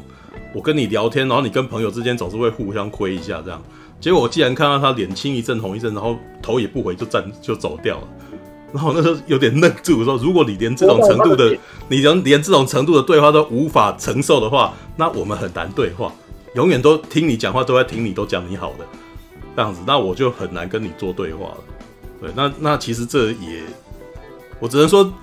呃，在那个什么能够容许的尺度，我们必须要把水量加大，你知道吗？啊，我至于我为什么会这么的百毒不侵，因为我在高中的时候，大家吐槽吐吐的很凶啊，吐到那种，你知道，就是吐到对一开始我也会沮丧啊，但吐到后来我会发现，其实这件事情你沮丧根本毫无作用，你知道？就是你你去顺着他的意，那反而还没那个，你知道，反而还你自己就很把自己弄得很痛苦。那、不然那个什么，你有可能回答，可是如果你的心态变了，那就拉倒啊，不然怎样？你你要有办法去攻击回去，这样子，有办法用同样的强度攻击回去，看他能不能承受。他不能承受，那这个人真的是没风度。我都能承受，然后我还能够反亏你，结果你不能被亏，你不能被亏，那那就代表你这个人只只喜欢讲人家不好，然后自己不喜欢被人家亏。对，那这就没有意思了，知道吧我其实觉得互亏是 OK 的，对，但是这个你你自你如果不能够承受人家亏你，那其实这这反而是超没风度的事情，知道吗？对，就是那种哇他妈的玻璃心，知道吗？这没有意思啊，你知道吗？对你也可以亏我啊，但是我其实觉得在这一种情况，我们才我们的对话的幅度才有办法变大，不然我之后每次在讲话的时候想，OK，我这样会不会我会不会伤害到你啊？然后最后就是不会去找你讲话，反正我不不知道讲什么话都会伤害到你，反正太麻烦了啊！想想看对岸的情况，知道什么东西全部都会伤害到他，对，那那这个人到底还有什么可以跟他做朋友的？我跟你讲什么，你全部都受不了啊！我不知道你的心理状况怎么样，可是有的时候可能是他们自己心里面有问题嘛。对，那当然啦，极端的自呃极端的自大，往往其实是就是自卑的展现，有同等强大的自卑啊，知道不不愿意人家讲，可能我觉得那个自卑感那个少跟自大是是同时自大又同时自卑，知道不太愿意人家提到这件事情啊。对，那可是我问题是大家从平常不会是对方心里面的蛔虫，知道就是怎么会知道什么时候伤害到你？如果突然间做什么都可能会被爆的话，那那真的最后就不会去找你讲话。啊，对，就是变成自己的心理健康程度是变成你要能够忍受这件事情，然后你也可以笑看啊，对，但是呢，你也可以，你要你要持平，什么叫做平等？你可以笑我，我也可以笑你，这样子才是平等的。如果对方那个时候见不，就是比如这也是我常常跟觉得有些女生很难相处的原因，你知道？对他可以笑你是肥宅，你就不能够笑他爱吃，是吧？对对对，那这样他就生气，然后可是他就可以嫌你这样子嘛？那这样你们两个就不 equal 啊，对不对？我是觉得，老实说，有的时候他们在说我们是肥宅的时候，他不是在开玩笑，他只是用他的开玩笑的态度去包装他的恶意而已。对对对对对对。但是我这样子弄他的时候，他必须也要能够承受。对，那如果他要包我们开玩笑的恶意，他也要承。对，不是他开我玩笑，好，我知道你是包装你的恶意，但是我可以假装没有这件事情啊。对啊，但是当我这样子这样子，我们才可以，应该是说我心地人，我我相信人人性本善，大家都应该只是亏而已啊。我没有办法去到随时测度人，任何人都有恶意，你知道吗？那这样子又会变成，那我我就会躲得所有的人啊，对不对？但是我但是我其实现在也不会这样想啊。其实当当你开始觉得对方有恶意的时候，你就会开始觉得所有人都针对你啊。对，这样子好像活着也是挺痛苦的，你知道吗？对，好吧，好吧，这个是一点那个什么。我可以，我从阿弟的对话中突然间感受到他好像有点心理障碍，然后然后想说可以分享一下。对，好啦好啦好啦，OK。不过我看看这部也怎么讲，我就是有点像说有点像做试调吧，就是想说这种东就是为什么这东西红，然后想说去研究看看。嗯，对啊。好，你说黑人只能接受黑人说尼哥，其实这就是奇怪的状态。就是很明显的黑人都还是非常很在意其他的族群在讲他尼哥是一种侮辱这样子啊，然后如可是也就代表这个字到现在就还是没有办法变成一个，就就还这就代表这些族群并没有真正的平等，并没有真正的越过这件事情，知道他他还在在意，所以这件事情就突然间不能讲，对啊，好吧，All right。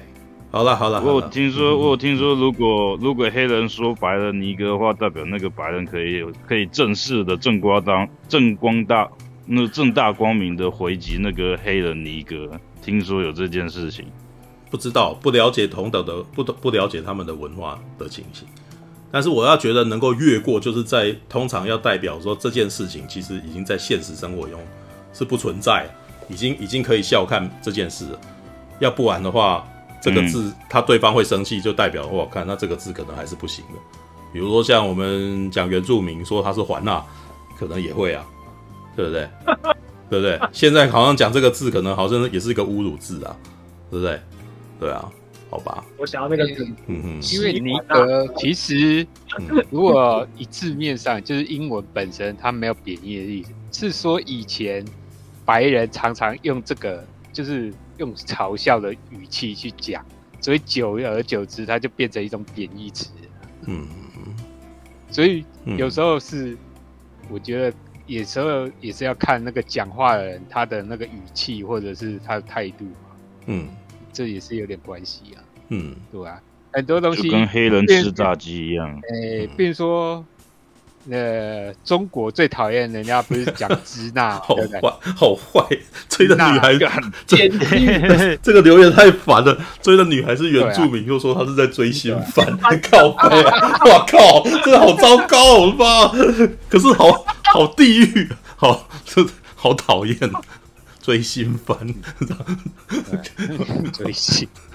可是像中国不是很讨厌人家讲什么支那支那，对不对？嗯。可是支那其实最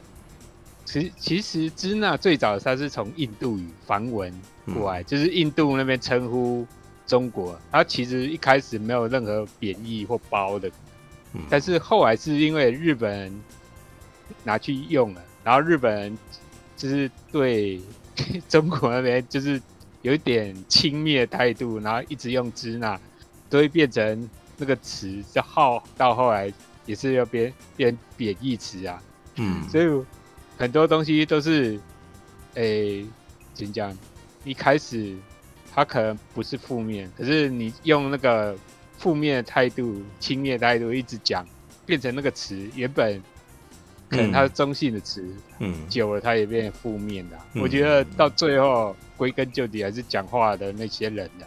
是用什么态度去讲这句话。你如果是用轻蔑的态度的话，嗯还是说你只是纯粹说半开玩笑，这个还是有差别，还有嗯根本性的差别。这样，嗯嗯嗯嗯嗯。当然，总而言之，我的意思事实上是大家不要对这件事情放到这样，只是一种自我审查，这会变成又是文字狱的一种，你知道吗？就是这样子到最后对话是会很辛苦，你知道吗？我我觉得那个啥，至少本频道的宗旨是希望，我觉得大家可以保有一定的尺度的自由度。我应该没有禁止你们骂脏话吧？对？虽然他这边讲什么十五秒不可以骂干，你知道吗？最近最近 YouTube 除了好巧巧把黄标规则？拉高，对对啊，就是要以反正反正这是他们的规定嘛。但是我觉得男生至少我自以前啊，就是就是在那个我们以前在大学宿舍里面聊天的时候，什么东西都通通来啊，这样子就是那个时候就觉得很爽很自由啊。我那个为什么要限制这种事情？我们其实也没有什么什么意思，也没有什么特别的恶意啊。对啊，好吧，所以我其实还是希望那个什么，在聊天的时候可以保有这种这种自由感，对啊，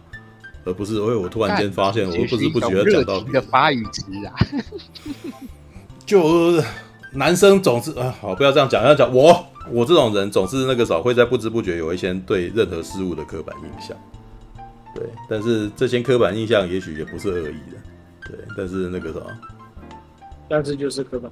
但就是刻板印象，但是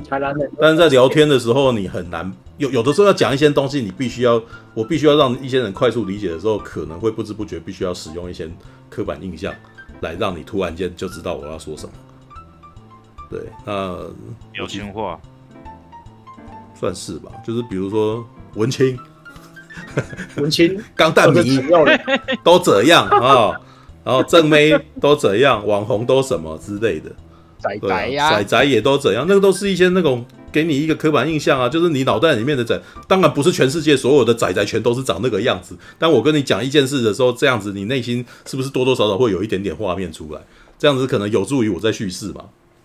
对啊，那既然我们可是是搞影片的、搞叙事的，你其实就必须要知道说这那个什么很多，其实电影剧本经经常都是在利用刻板印象做故事的，不管你要怎么样让大部分的人立刻知道你要说什么？对啊，所以你不呃，反而有的时候不应去逃避这种事啊。对，好，来吧，那个什么，换陈佑，对，陈佑应该追完了吧？对，对我追完了。嗯嗯，那个什么，觉得我看这部片的时候，就是看那个孤独摇滚的时候，看到看第一集就有一个感觉，嗯就是我仿佛又又回到了当年第一次看呃辉夜姬的的那个感受。嗯，我我好像有在这边讲过，就是我看辉夜姬的时候是超级无敌很痛，呃，一超级无敌有共感的。嗯怎么呢？因为辉夜姬就是在讲两个内心戏超级无敌多的的人，嗯他们在在那个恋爱上的攻防嘛。嗯那虽然我没有像他们这么精英，是我很懂的那种一个人内内心戏太多，然后结果搞得自己什么都不能做的那个感受。嗯如果在这边常听的常听我讲话的人，可能也会有点发现，说我是一个内 内心戏很多的人。嗯，那孤独摇滚，他他刚其实就讲嘛，也是一样，就是女主角后藤伊里，她就是一个社社交恐惧症的女孩，然后她也是内心戏超多。嗯，那虽然哈利刚刚讲说，好像觉得说啊，如果呃，就是就是这个东西好像他觉得不觉得好笑这样子，但我自己会觉得，杜摇滚这样去处理很可爱的原因，是因为那种社交恐惧症啊，然后那种你你你很害怕是各样的事情，然后那在生活上自己造成困扰，甚至呢会常常觉得很羞耻，或觉得自己很没用的这件事情，嗯。在孤独摇滚里面，这样子用各式各样、很多很有创意的方法去呈现的时候，我一方面又能又能感觉有一点，就是啊，对，这好像就是我同情共感的感觉。可是另一方面，好像又我平常生活中在面对的这些困难，好像在这个动画里面又把它转化成一个幽默可爱的事情呢。所以至少我个人是这么看的。刚刚旁边梦兔米莎好像也是说类似的状态，是是。嗯，我会觉得它有趣，并不是因为像把这件事情当成一个呃笑料，当成谈谈资，而是反而是因为我们可能多多少少每个人都有经历过类似的事情，嗯，是你不知道要怎么去跟去面对这个世界，然后你其实内心有很多呃压抑了很多有的没的自己的想法，然后可是你又同时对自己感到有一点有点害羞之类的，对，然后。呃，孤独摇滚，它在里面就是用各式各样很好玩的方式去去呈现出来。对，例如说像第一集里面有一个有很多好，光是第一集哦，各各位还没看的，可以先去看第一集就好。集里面有好多很好玩的梗，好像像里面就是讲说那个呃女主角后藤义里，嗯，她以为自己呢如果会弹吉他，然后如果别人都觉得自己是。是一个好像是一个玩团仔这种感觉，嗯，想说，哎，我这样是不是，我这样是不是就就能很受欢迎了呢？这样子，然后然后前面就开始讲说，好，那那我我要背吉他去，背吉他也不够，我还要背上那个什么乐团的周边这样子，然后呢，就全副武装，洋洋得意的去上学，说会不会有很多人来这样子簇拥我呢？结果没有，一整天下来都没人理他，这样子就哎，干这件事好像我们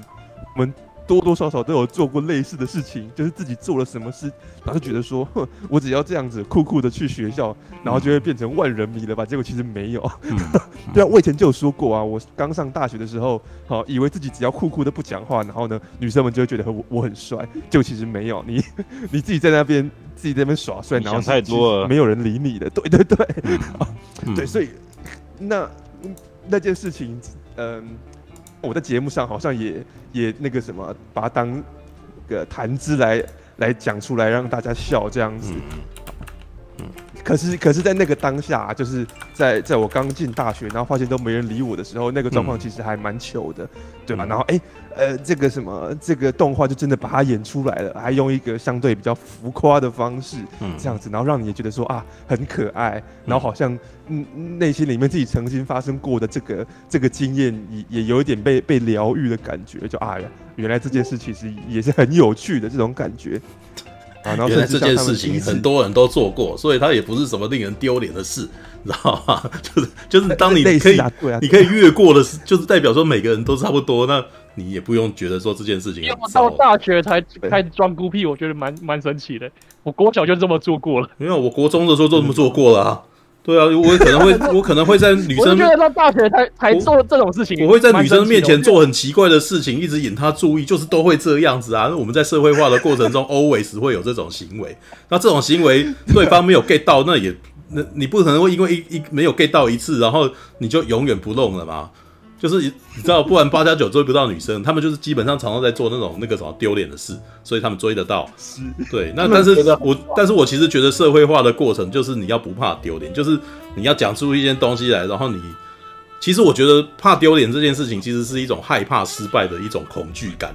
知道对，对方没有丢你丢丢球给人家，对方没接到，然后你就啊干嘛好糗啊！我为什么要讲这件事情？你心心中充满后悔吧，对不对？但没有啊，你当。你你开始能够接受这种事情丢出去也无所谓的时候，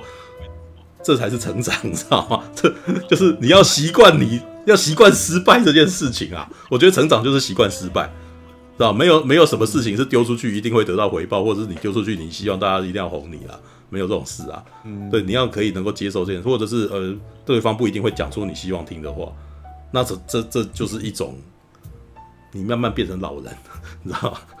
你看到最后老人是不是？你看那个温老贝是不是讲话都没人听啊？你知道吗？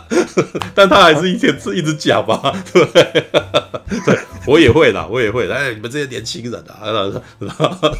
对不对？对，OK，好啦，继续。我们以后就变这样。嗯嗯嗯对，我觉得趣味就在于说，当这件事曾经发生在自己身上，自己还没跨过那个坎的时候，嗯你怎么想都觉得说自己超糗、超羞耻的。可是当可能，例如说有人跟你分享类似的经验啊，或甚至有人在这样作品当中把它表现出来，你就会有一种感觉说，哦，原来别人也发生过类似的事情，而且原来这件事情在别人的眼里看过去，其实也不觉得你是有多失败，或者你是一就真的是一个 loser，反而可能会觉得这个人也也很很有趣这样子。嗯我觉得看后藤义理这个角色的乐趣是在这边啊，嗯，对啊，像像也是第一集哦，讲说他们第一次要去演奏，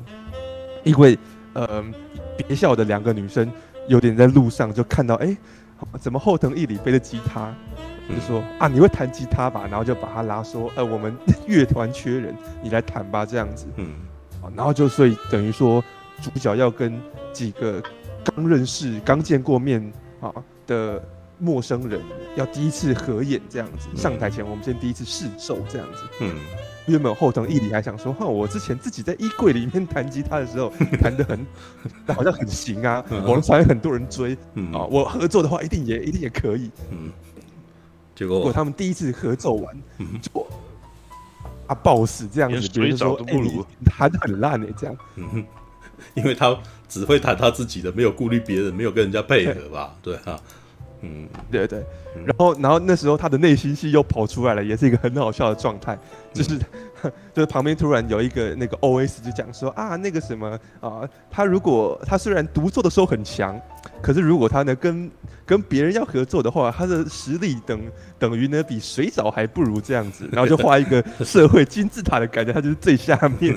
好，然后呢他就啊直接死亡，好，就然后就突然哦。嗯，突然画面上就说啊，那个小孤独因为呢这个演奏失败，所以呢这个灰飞烟灭，然后就写一个完，然后就开始生字幕这样子。人生结，人生立刻就结束，中对，知道吗只是一次，立刻剧终，知道吗？好，就是有一点在用一个很好玩的方式去呈现，说什么叫做你在一瞬当中，一瞬之间信心被打击，然后呢突然就那个感觉自己好像社会性死亡了的感觉。嗯。我之前也讲过啊，我就不是讲说我有一次跟 女网友出去，嗯。然后呢一见面的时候我讲不出第一句话来，然后我马上就觉得干自己社会性死亡了，就是这种感觉。嗯。啊，这种感觉我发生在我自己身上，我都会觉得很糗这样子。嗯。我也跟他一样啊，我也想说啊，我的人生是不是剧终了这样子。嗯？可他把拍出来的时候就哇有趣。嗯。那虽然那这是呃主角主要带给带给我，甚至可能很多人都是一样的感觉，就是看到哎、这个这个好像有点社交恐惧症的的女孩啊嗯，她内她的内心戏跟我们像曾经有过的小剧场是这么这么契合的时候，感受到的乐趣。啊，嗯里面有一个我最有感觉。就是讲说，哎、让他们让小孤独去说，你去办一个 Twitter 账号吧，去办一个社交网社交网站的账号这样子。这时候，小孤独马上脑中的小小剧场又升起来了，嗯。啊，就 就是想说哈，我要办推特账号是什么意思呢？嗯然后就马上看到，在一个城市里面有一只小孤独眼的大怪兽，嗯然后那大怪兽的的吼声是，呃，嗯大家快来关注我，我想要交朋友这样子。他想说哈，这样子，对啊，我办推特账号不就是希望别人来追踪我吗？嗯然后我希望别人来追踪我，不是就有点像是在在求大家说你们来关注我好不好？然后他又觉得说干不行，我这样一弄就就太羞耻了这样子。我记得他的意思是说，如果如果办了推特的话，我的只要一有人按赞啊，我就我就我的欲望会无止境的扩大，然后就变哥吉拉。啊 对对对，按赞怪兽，然后他有两只大拇指是，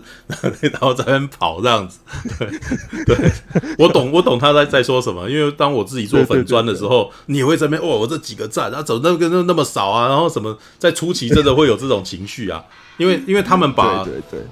不管是 YouTube 或者脸书，他或者是推特，他都把大家对你的关注这件事情量化，然后你你的心中就会希望你能够得到好成绩，然后你就会开始做比较，然后你甚至会开始嫉妒别人之类的，你知道？对，所以嗯，就是你要你要越过这件事情，这 在初期的时候很容易就会会陷入这样子的问题，而且还会跟人家吵架，呃，还甚至还还会出现比较心态，然后甚至还会排挤别人，那个那个谁啊，然后怎样怎样也有那么多赞的，那是 然后在那边讲这种的，知道？OK，好了，是是是，嗯。对，而且嗯，我觉得他还有一点讲的也是很有趣的，就是讲说，嗯。我我我给他做的比较的作品是哪一部呢？嗯。就是有另外一部也在讲类似社交恐惧症的动画，叫做《古剑同学》，啊，呃嗯，就古剑同学什么什么什么。嗯，嗯嗯嗯。对。嗯，可是呢，《古剑同学》里面他描绘这个女主角身为一个社交障碍者，嗯。就是一个完全是一个虽然不讲话，可是平常就是一个很端庄，然后很善良的女孩子。嗯嗯然后虽然我看的时候，我也会有一种心有戚戚焉，就是我可以懂她的那个也怕跟别人交流的那个感觉。可是就觉得古剑同学他到看到第一季结束之后，会有一点觉得好像怎么 没呃。没办法一直感受到这么有趣，就是因为他把那个社交恐惧症的状态写得太美好了。嗯。对，好，就是事实上大我我想大部分的人的社交恐惧都并不是那种呃一种很很正襟危坐，然后很很端庄优雅的感觉，大部分都不是。啊。啊，因为古剑的因为古剑的情况，他很少从古剑的角度讲事情，他是从旁边的人看古剑在干什么，然后让男主角去猜古剑在想什么之类的。对，可是古剑啊，古建同学他的梗是讲说，那个古建同学虽然不讲话，嗯。可是因为他的他的外形太有魅力了，别人可能会以为她只是一个冰山美女。是，好，但小孤独的那个有趣感是，他只要一就是什么嗯。一觉得内心有什么冲击，然后他马上就就摊成一坨的时候，嗯。然后他用那个画面呈现出来嘛，就说、嗯。啊，你看他怎么又自己躲进垃圾桶里面的，那个嗯。旁边的人马上马上就可以看得出来说他在、嗯他在搞什么鬼。嗯嗯嗯。嗯然后另外一方面是，我觉得他他里面写了很多，嗯，我这样子用词可能会有点直接，嗯。可是是好，那个感觉就是想，就是各位可以想象，其实有社交障碍的这些人，他们其实心里也是有很多热情的，而且那个很多自己的那些想法，嗯。还不只是热情，很多时候甚至是有一点、有一点、有一点激烈的的想法。我不知道各位可不可以体会那种感觉。例如说第二集讲说、啊，他们为了要负担乐团的费用，嗯呢，那个什么队友就邀说，哎、那你要不要一起来这个 live house 打工？好，嗯那这样子我们你你既可以在 live house 里面，然后呢，呃，听别的团演奏啊之类的，反正是同一个环境嘛，嗯一方面又还能赚钱。嗯。后藤义理马上就想到说，我我我社交障碍，我可能连跟客人讲话啊都都有困难。嗯。那所以呢，他呢就不想打工，然后不想打工，他做什么呢？就是刚刚讲的，他就把自己泡在冰冰块里面这样子，然后想说我我如果哦我如果生病的话，是不是就可以不用去上班了呢？好，嗯。有啊，有生病，只不过是后面。嗯。就是那个，当然后面就就来了一个好玩的发展嘛，就是结果他其实没有生病这样子，嗯。然后还是得去上班。对，不过我觉得那个有趣的就是，哎、那个我们心中很多那种很很卑劣的那种想法，然后一些嗯。小聪明，他演出来了这样子，嗯。就是我们并不是像古剑同学那种，就是虽然虽然不讲话，可是很很优雅的感觉，其实不是那种状态。嗯。啊，是啊，大部分的时候，我们的那种很多小剧场都是更像呃，哦，孤独那样，是一个是是一个手忙脚乱，然后呢不知所措，然后最后呢心中就会有很多很多糟糕的想法出现这样子。那那这是后藤义理这个角色给我的看的乐趣。嗯。不过我在看孤独摇滚的时候，有另外一个乐趣的点是来自于，因为嗯，最近我开始稍微有接触到一点点，有在独立乐团，然后甚至有在跟独立乐团接触嗯呃人，嗯然后他们会在聊那个圈子里面的事情。嗯嗯嗯，刚好哎，孤独摇滚里面就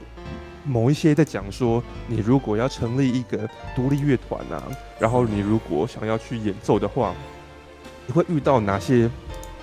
经历过，会有哪些哪些事情要去面对吧？我觉得哎，那对我来说又是另外一个有趣的点，就是嗯。为孤呃，因为因为主角小孤独他原本也没有参加过乐团，嗯。所以呢，这整个《孤独摇滚》这部动画的至少前前半节吧，嗯。啊，都有点像是旁边的队友要来跟小孤独解释说，嗯。如果我们要搞乐团，要怎样怎样怎样。嗯。然后呢，然后我就有点像是也个也是跟他一样是一个外行人，然后不是听团仔，不是乐团咖的那些人，然后跟他一起一起认识说，哦，原来独立乐团圈是怎样的。嗯好，例如说，呃，他有就有讲到说，其实像那种 live house 啊，嗯可以有客人进来听团，然后那个乐团可以在上面演奏。嗯 事实上啊，这个 live house 或者这个乐团，他们也是有票房压力的，嗯所以它里面就有还有还跟你解释说，那呃。这个 live house 通常票房会怎么算？如果呢有没有达到业绩，那个团可能反而要倒贴钱，这种感觉。好，然后他们呢要要，例如说要设计团体啊，要设计周边啊，嗯 各式各样的问题。然后像甚至后来还有，然后除了这种表面上的，当然还有心态上的。好，例如说，哎，大家为什么有的时候好像呃上台表演可能会很紧张？那这件事小小孤独当然也是，所以他原本很紧张，到第一集他为了上台，他还只能把自己装在纸箱里面这样上台，嗯不敢面对观众。嗯那是后来慢慢才有人开导他说，你你应该是可以保持着什么样的心态去去面对你的听众的。嗯然后我觉得这就很有趣，因为例如说像我们这种外行人，我可以看到的乐团早就已经是五月天那种等级的了。嗯是当我去听一些独立。知道独立乐团圈的人在聊的时候，其实独立乐团啊，你他们在那种小小的 live house 里面，然后这么近的跟呃为观众演奏的时候，嗯你完全可以想象，其实这些独立乐团跟观众的距离是是更近的。好，嗯不会像五月天这样子，他们站在台上，然后呢，小巨蛋里面的那个一黑漆漆一片，看不到谁是谁嗯。然后里面就有把这些呃，你搞独立乐团时候会啊的心情，然后会遇到什么事情都演出来。嗯。啊，就觉得说，哎、这这好像也蛮有趣的。我们一方面一方面看好孤独，会觉得说，对，这就是我。然后另外一方面，我仿仿佛也是跟着他一起说，我们一起来认识什么叫做独立乐团吧，一起来认识乐团是怎么回事。啊嗯，这件事情反而是我，因为我看的不是很多，嗯。是我以前在看某些乐团相关的动画的时候，稍微好像比较少讲到这么嗯这么细节的的层面吧。我想，对像我看像我看过那个什么，嗯有一有一部是 BL 的那个乐 乐团番，啊，嗯就完全把精力放在团员们之间的恋爱上面，嗯好，就不会告诉你说，那你要搞乐团，你要怎么搞，对不对？你要去哪里演奏啊？嗯你要怎么吸引？你要怎么吸引顾客啊？嗯。然后你要怎么面对你的你的群众这样子？嗯嗯。我看这个，我看这个番的时候，我看孤独摇滚就觉得有有一个双重乐趣吧，嗯。好又可以认识小孤独这么好玩的角色，然后又认识了嗯独立乐团的成立的这个可能会遇到了一些哦一开始的事情之类的。哎，对对。对，嗯。好，这这是我对嗯。对孤独摇滚的的感觉了，它嗯确实有趣，这样子。确实有趣啊。陈佑用文青口吻，确实有趣，知道 这哪有文青口好，吻？好啦好啦，我我只是吐槽而已，不要在意哈。对，因为那个什么，它没有结构啊，哦，嗯哎，要解构吗？你有什么要解构的？有什么可以？他刚刚那个好像也算是一种解构的啊，对。但是这个什么用用的词是一个我们比较容易听得懂的词，这样子。给的比较少的结 好，构我。这边再讲的更细细腻一点好了，嗯，是完全可以想象，嗯，应该说这样，各位可以这样去比喻。当我看到呃、嗯后藤一里去加入乐团的时候，都可以完全想象，就是我假设我要进入独立独立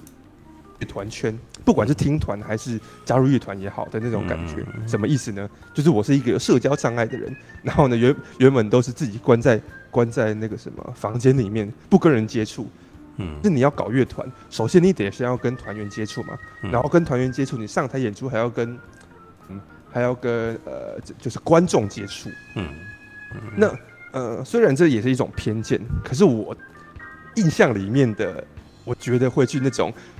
乐季的听团仔啊，然后会去甚至去搞乐团的那些人，是是哪几种人呢？我觉得个。团结 band 里面的另外三个人，就完全可以代表我想象中的会去玩团、会去听团的那些人。嗯，一其中一个呢，就是山田凉啊，就是蓝蓝发的女孩，她就是我们 隐形想象中的那种最酷的人，平常都不讲话啊，然后可能一讲话还是讲那种很专业的知识，然后呢，让你觉得哇，她怎么这么酷？这种感觉。啊，它里面也还有一个很很有趣的描述，讲说如果你说这个人怪，他还会觉得开心。嗯，这不就是完全就是那种潮很潮的听团仔的那个 的那个呃习性吗？啊，尿性啊，这么说就是这这种人就是你会觉得他就是想要特立独行的那种那种潮男潮女。嗯，对啊。嗯，再跟各位说，一些极致的听团仔，他们是那种。我喜欢的团，他只要一一红，个人就不听了。嗯，为什么呢？因为因为我是一个很潮的人啊，我怎么可以喜欢大众喜欢的东西呢？啊，你那个 YouTube 订阅只要过十万，我就不喜，我就不听你的了。听不红的是不是？我我就是要去继续听不红的。我以前会听五月天，我现在也不想听五月天。好累哦。没有拉面店都在放。可是五月天也他越来越流行。对啊，就是五五月天以前的歌，我我会觉得很 grudge band 啊，就是那个春娇跟志明那个，对啊，我我其实觉得那个很有趣啊。可是后来他的歌，我就觉得就是很。喜欢太商业的东西，我不知道哎。我觉得五月天的歌不是很耐听，对不起。对，对，好啦，好吧，就白点就好了。好嘞。然后，然后你就呃，至至少我看到这个角色的时候，我就会把那种我们想象中的那种很潮很酷的人带入进去。嗯。可是这个角色又很好玩的是，他又有点反转，他有点在告诉你说，其实你原本以为这些很潮很酷都不太讲话的人啊，他们可能也有很腔的一面，这样子。嗯，所以其实这就是刚刚柱哥在讲的。嗯，然后另外一种，另外一种人是什么呢？另外一种可能会去搞乐团的，就是像像金头发的女孩一样，嗯，就是可能有资源，然后呢，而且呢也很有行动力，然后也也很就是不怕生的那种，完全就是呃。能已经有点类似制作人角色的人，就是觉得说这个人做起事来超级无敌可靠。嗯，可是就是因为这样子，所以那个人这样子的人也是一个一个闪闪发亮到我无法接近的人。就是你你这么有用，我这么没用，这种感觉啊？什么？没有，你观察是对。像日本的话，你会发现他很多呃有名的唱片制作人，他本身一开始真的是搞 band 出来的。哦，对，对，蛮多的。像小四哲哉，他其实最早也是一个团体的乐团里面出来的，然后后来就变成当红的制作人。嗯，其实是蛮多的，所以我才会说，日本的音乐文化的话，乐团其实是他们的中流砥柱，因为出很多人才，不管是他们在幕后制作，或者说台前的那些表演的，对，其实是很重要一股支柱啊。对啊，嗯嗯嗯。对，然后，然后，总之我要说的就是这个金毛，它就代表那种最有社会化、最干练的人。嗯，啊，所以我完全可以想象，如果这样的人遇到我，就完全就会是那个金毛，他刚遇到后藤义理的时候的这种想法，就是哎，这个人怎么这么怪？我是不是找错人了？这种感觉。嗯，那接下来红头发的人呢，就是可能是我想象中的最典型的那一种，好，朋友很多，然后呢。嗯，我想想看怎么用。其实负面的词没有啦。其实红毛他基本上他也不能够算是呃乐团里面常常会出现的那种人啊。他其实比较像偶像，你知道吗？就是那种很很阳光、很朝气啊。然后都那叫他他在里面就有讲啊，就是社群达人，你知道？对，是就是每次看到就是大家他一定是那种超级受欢迎的那种人。但是我我觉得这部剧里面，他也有暴露这个女生她的她的自卑感啊，知道吗？对对，他其实是很碰轰的人，就是诶，他可能弹吉他那个就就说自己会了，然后等到真的大家要临阵要让他那个，他就逃走了。对，在一开始事实上他是一个负面角色嘛，对不对？对他，但是他其实有一点，为什么他后来会跟伊里感觉起来，跟小孤独会这么的感觉起来要百合要百合的感觉，知道其实我其实觉得这个角色的曲线是在于他一开始是装腔作势的，但是后来遇到一个技术派的人的时候，然后那个技术派的人也没有他也没有轻视他的时候，然后他觉得他跟这个人在一块，他有成长了，所以他到最后事实上也是很依赖他的，而且到最后其实上我可以感觉到他很崇拜小孤独啊。他最后一集的那个感觉其实是很崇拜他的，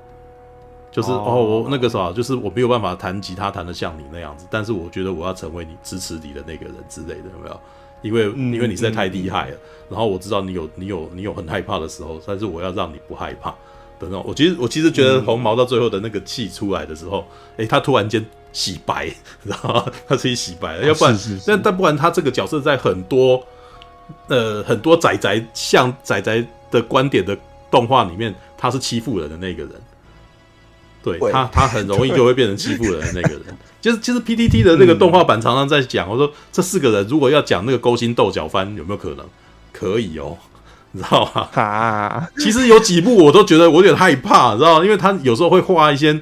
呃，比如说像那个他们学员季那一天吧。学员季那天，然后那个蓝毛跟黄毛不是跟他们三个不是找到了小孤独嘛？小孤独穿女仆装嘛，嗯，然后大家就在说哇，你你身材很好啊，你很适合啊，你要常常穿啊这样子。然后然后那个两个人就还在玩他，就是说那个什么，就是哎，你你那个什么，你要呃，你你这时候是女仆，你不是要跟我做魔法啊什么之类的吗然后再逗小孤独啊，然后小孤独不是就是呃讲的很烂嘛，讲的很烂的那一幕，突然间你看到红毛在旁边有一个眼神那个。我觉得他画的那一瞬间，我很怕他接下来要讨厌这个女生，你知道吗？因为那个那一幕感觉起来，你你如果要开始诠释，你故事要把它讲成说，这个红头发的女生开始不爽了，觉得为什么大家全部都把小孤独当成焦点，然后这时候要争风吃醋起来，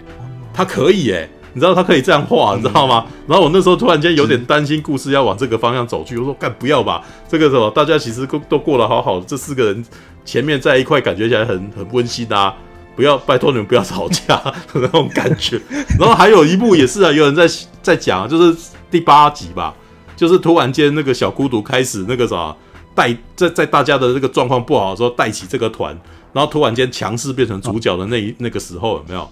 哎，嗯。也有可能那个什么，就 P D T 的，我记得 P D T 的动画版有开始写一个他那个什么黄毛的内心戏，你知道吗？对，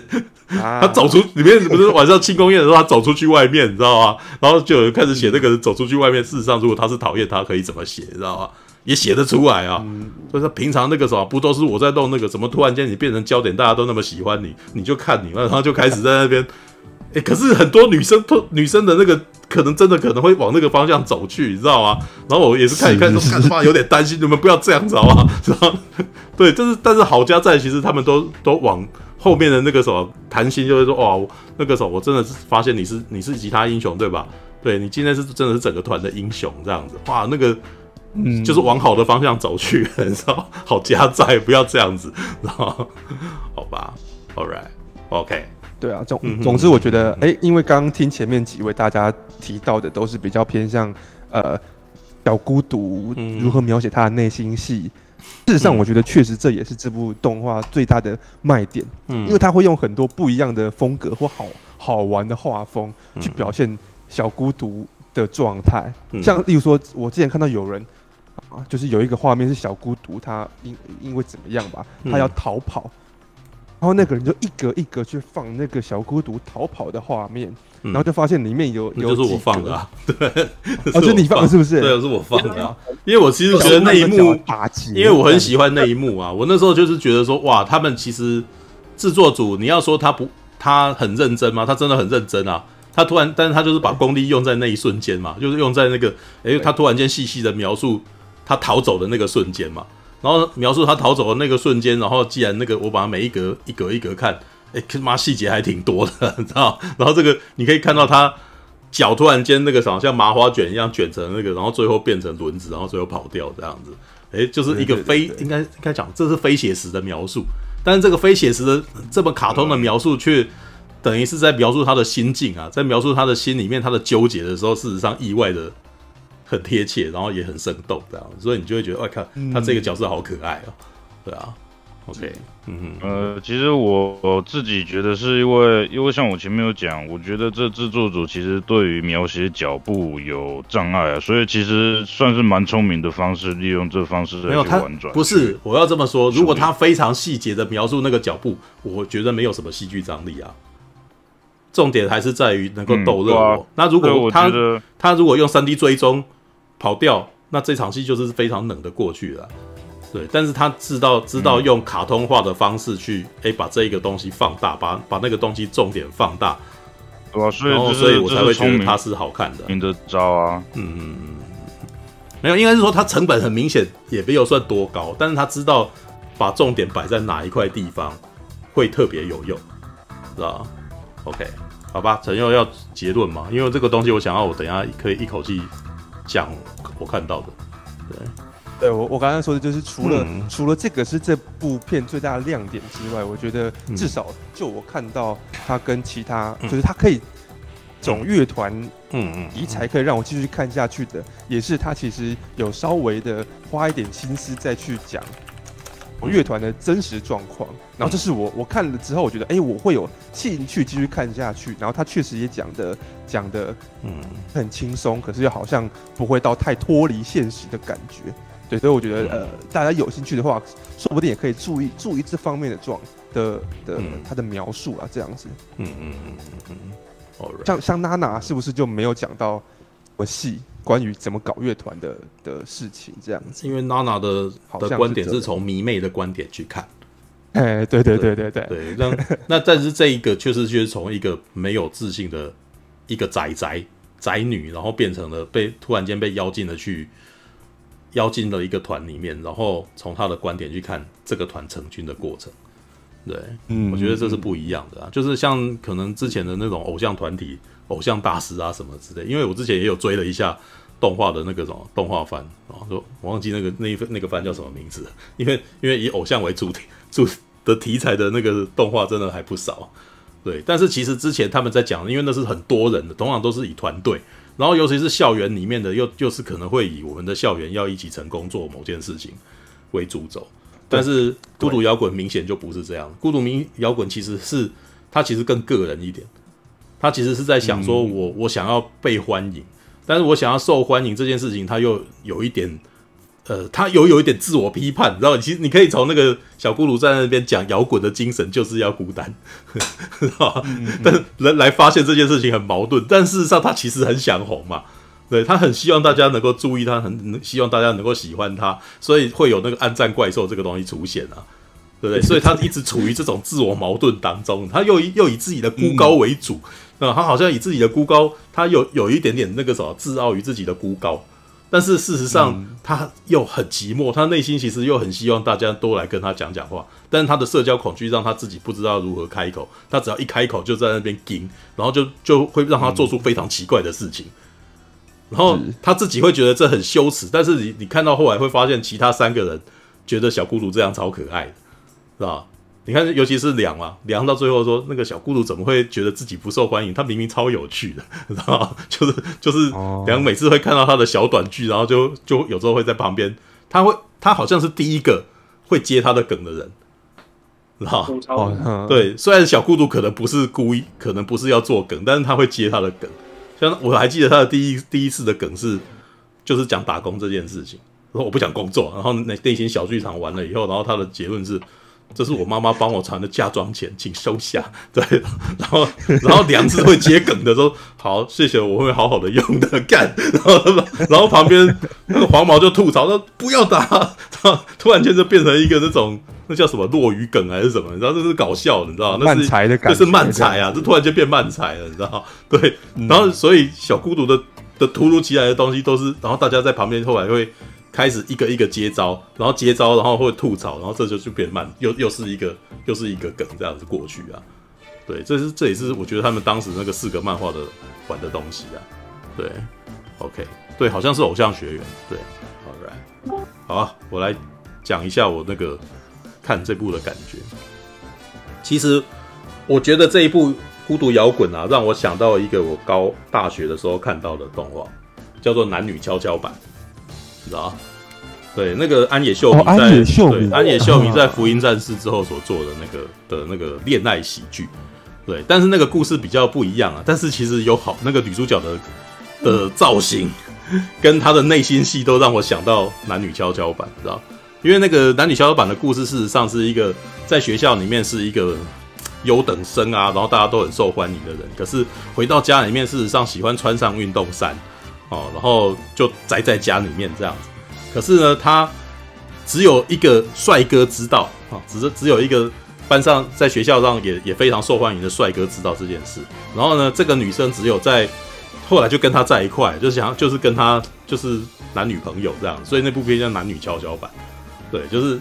啊、可是那也是一部生活番啊，通通常都是在讲说这个女生在学校呃会装成一个熟女啊，或者是一个那个什么优等生的样子，可是回到家里面或者是在男朋友面前，她才会展现出她慵懒的那一面。然后当她变成慵懒那一面的时候，就非常多很好笑的事情。然后安野秀明在那个时候玩的一些比较特别，就是他玩到后来突然间不用动画，他可能突然间用实拍，然后或者或者或者有时候会用木偶戏哦，然后或者是那个什么一些那种剪纸来来来来展现那些小剧场。然后这一点，这个孤独摇滚其实也有玩，因为你会发现孤独摇滚小孤独会突然间有粘土 跑出来，你知道，然后会突然间实拍，然后放在那个什么进入过程的那个棋子什么之类的，那个都让我想到，嗯，对，孤那个《两女跷跷板》那个时候就已经在玩这个东西了。对，后来事实上也有一些动画番也有在呃在做，就是但是他们有的时候可能不是在动画里面做，而是在后面，就是可能在那个可能唱完唱完 OP 一啊，唱完 ED 以后，然后会有一个小剧场这样子，然后那个小剧场可能就就让他们玩一些别的。对，那这是第一点呢，就是我突然间在这边看到男女跷跷板的影子。第二点，我觉得事实上这个动画组事实上就是找到了一些方法，就知道说啊，这是一部动画，呃，是一部喜剧，然后我们可以极大化它。然后呢，事实上这四个角色，呃，其实孤独摇滚的画风不是非常风格化的东西，知道？它不是像少女革命啊，或者像灌篮高手啊，或者是像是海贼王这样子，哇，那个人物的那个什么造型，一看就非常的特色，非常的不一样的那种，有没有？它不是啊，对不对？你会发现这四个人如果把头发拿掉，其实长得可能是一样的啊。把衣服跟头发的颜色拿掉，他们的眼睛什么的，就是差异是不大的。事实上，这也是我不是很喜欢二十一世纪以后的、的动画番的原因啊，因为这些角色的那个什么的特色都都不明显啊。对，所以他们会开始必须要用一些别的东西来让让这些角色一看就知道是什么，比如说头发的颜色，知道吗？你看我我我我不是跟你讲说这很好分吗？对不对？蓝的、红的、黄、粉红，对不对？跟跟蓝？对，就这四个，就四种颜色，然后我都不用去记它的名字，我只要跟你讲蓝毛怎样，黄毛怎样，红毛怎样，粉红毛怎样就好了嘛。对，然后最记得的那人就叫小孤独，其他的人不不是很记得名字也没有关系，有没有？很好，很好懂，很好认啊。对，那其实是因为我觉得那个他们这也是日本动画省工的原因啊。要不然在以前九零年代的话，流川枫跟樱木花道的造型很明显是不一样的嘛。赤木刚宪跟宫城良田，妈的差超级不一样嘛，对不对？但是不会像七龙珠那样头发拿掉大家都一样，知道吗？对 对，那然后车点正美了，对车田正美哦就是，哎、当然每个人会有现在是要说，只要看配色就可以知道角色是谁。对对对对他，们这是日本现在动画神功的方式，所以到最后大家也会笑啊，像小孤独哦，跟小孤独很像的，那会不会把拉克斯克莱因跟小孤独换弄错？有可能会，你知道吗？因为他们的大家都因为颜色的关系会，哎、看我妈粉毛的那个同源摆一个，那平常不看动画的，是不是很容易弄错？就跟平常不看钢弹的看钢弹，那就他们都是钢弹啊，对，或者平常不看布袋戏也看布袋戏嘛，大家都是不，大家都是素还真嘛，大家都是素还对，因为那个偶的那个脸型是太接近，这样就就特色风格差没有很多，哦，这就是脸盲，会导致你脸盲啊。对，这但是孤独摇滚在避免这一点之外，就是他用头发啊什么来去分，然后在他也知道他的角色的那个人物，事实上不是特别的容易让人家有印象，所以他必须要用很多小短剧来让那个原来四格漫画的那个梗可以更深化，知道因为本来的四格漫画事实上没那么好笑。如果你们去看那个漫画，你会发现事实上它还蛮平的，你知道吗？那种感觉真的有点像是看这个跟动呃漫画跟动画的感觉，有点像是看《鬼灭之刃》漫画跟动画的感觉，知道吗？就是本来的漫画事实上是小幽默而已，但动画呢，孤独摇滚是把那个小幽默变成了大爆笑，是吧？对，那就就像是就就有点像是那种漫画跟动画之间的那个差异感这样的。然后怎么呃是怎么办到的？就是像刚刚提到的那个，他跑步可以用动态模哦，用各种动态去描述，然后把它喜剧化。然后或者是他的那种小脑袋里面的小剧场，然后那脑袋里面小剧场想出来，干他妈超级好笑了，对，然后你就会觉得啊，干这就这不就是我吗？知道吧？或者是他会用一些时事梗嘛，像刚刚讲到的那个七龙珠梗嘛，还有喝酒，喝酒有压力喝下去就没有，那个其实也是一个梗，那个是 日本的那个什么啤那个酒的广告，你知道吗？酒的酒的那个贴在外面的那个广告，就是说，哎，你喝酒会有什么问题？你知道，就是呃啊，你平常会有什么问题啊？就是你你进入啊，然后或者你税金啊，然后家里面的问题啊，然后他就画一个很，他就用图库里面的一个很伤心的点这样子，然后接下来下面的解方喝酒，全部全部这些问题 都解决，是逃避，你知道吗？对，但是那很好笑啊，那就是然后他在这里面让让那个什么，直接把它置入到动画里面，完全一样。对，当当然里面还有一些乐团梗啊，当然它几乎每一集的那个片名，事实上都是跟乐团有关系的。然后甚至这四个人的名字也是大家有讲，如果你们去找，很容易就找到亚细亚功夫世代的那个团的那个名字啊，是吧？就是很明显是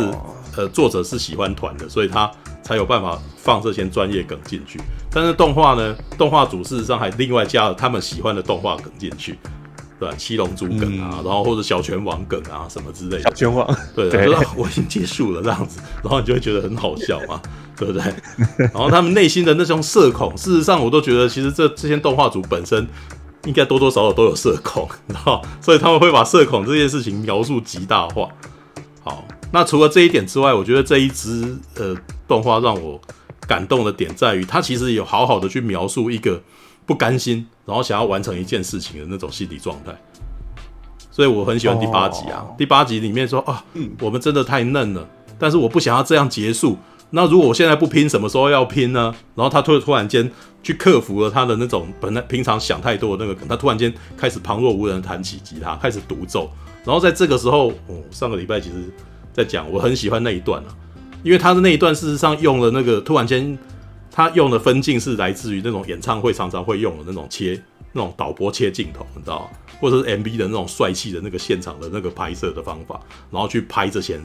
拍这四个人，然后这这个时候三 D 跟二 D 都呈现在里头，然后只要能够让镜头看起来生动，然后就用。他们其实有点不拘泥要二 D 还是三 D 的，然后但是很明显这个东西是有三 D，有很多部分是三 D 镜头才可以展现出来的，像那个光线啊，还有那个人物的那个手指头的那个动态啊。然后还有那个身体的摇摆啊，那个其实都是那种乐手本身在被音乐给打动的时候，他自己本身无意识的摇动。然后，但是呢，事实上，我觉得在看现场演出的时候，会觉得这才是那个乐手最帅的时候，知道像你看七 D 也可以做到了，要花很多钱。对，但他只要用三 D 捕捉就可以快速的让我们这种魅力立刻展现。然后，而且他还故意让他失焦，让他逆光，不用看清楚也可以让他有魅力啊。事实上，不看清楚是最有魅力的时候，你知道那个是那种 MB 里面常常会用的手法。对，而且你去你去看很多那种那个什么摇滚的，他们在老是在那边弹吉弹那个钢琴打鼓啊，然后画面都失焦，然后晃来晃来晃去，你知道？只是为了要让到他们看起来很有魅力而已。对啊，那而且那一段甚至连混音也让吉他的声音，呃，很明显是在带大家，他吉他的声音比较大声，你知道？然后最后拉弹起来的时候，哇，好帅哦！对，在那一瞬间，我觉得小孤独超级帅的，那个时候是他的粉那种感觉。对啊，所以看到后来你会很会很喜欢这个角色。那他虽然是日常番，但是因为他是以角色的魅力取向为主的，所以你会很喜欢这角色，很希望看他的日常还能多做点什么。所以当你喜欢上这个角色以后，你就会一直一直想要去追他。然后每集二十每一周二十分钟，然后你看完会欲罢不能，想说赶这个下个礼拜没有怎么办？其实我觉得日本的动画番，呃，日常番的魅力来源是这里啊，他想办法让你很喜欢那个角色，当你爱上这角色以后，他做什么你都想看，知道他有点养粉的那种概念，对，好吧，孤独摇滚，他最近那个什么的新闻是他的那个出的专辑啊，卖了大概七七哎七万张吧左右，对，所以也许对第二季有希望，希望有第二季啊，好想再看他。对啊，好吧，对，孤独摇滚。说到刚刚，嗯嗯，好像大家没有提到的，就是如各位在看的时候啊，然后只要他们演奏的时候，各位可以认真去听。嗯，他们就提到说，第一场演奏的时候，怎么大家好像那个音乐啊，然后节拍没有对在一起。各位如果认真去听那个音乐的话，是真的可以感觉得出来说啊，这一段是他他们演的比较不好，然后可能有些人有点紧张，比较对不上的时候。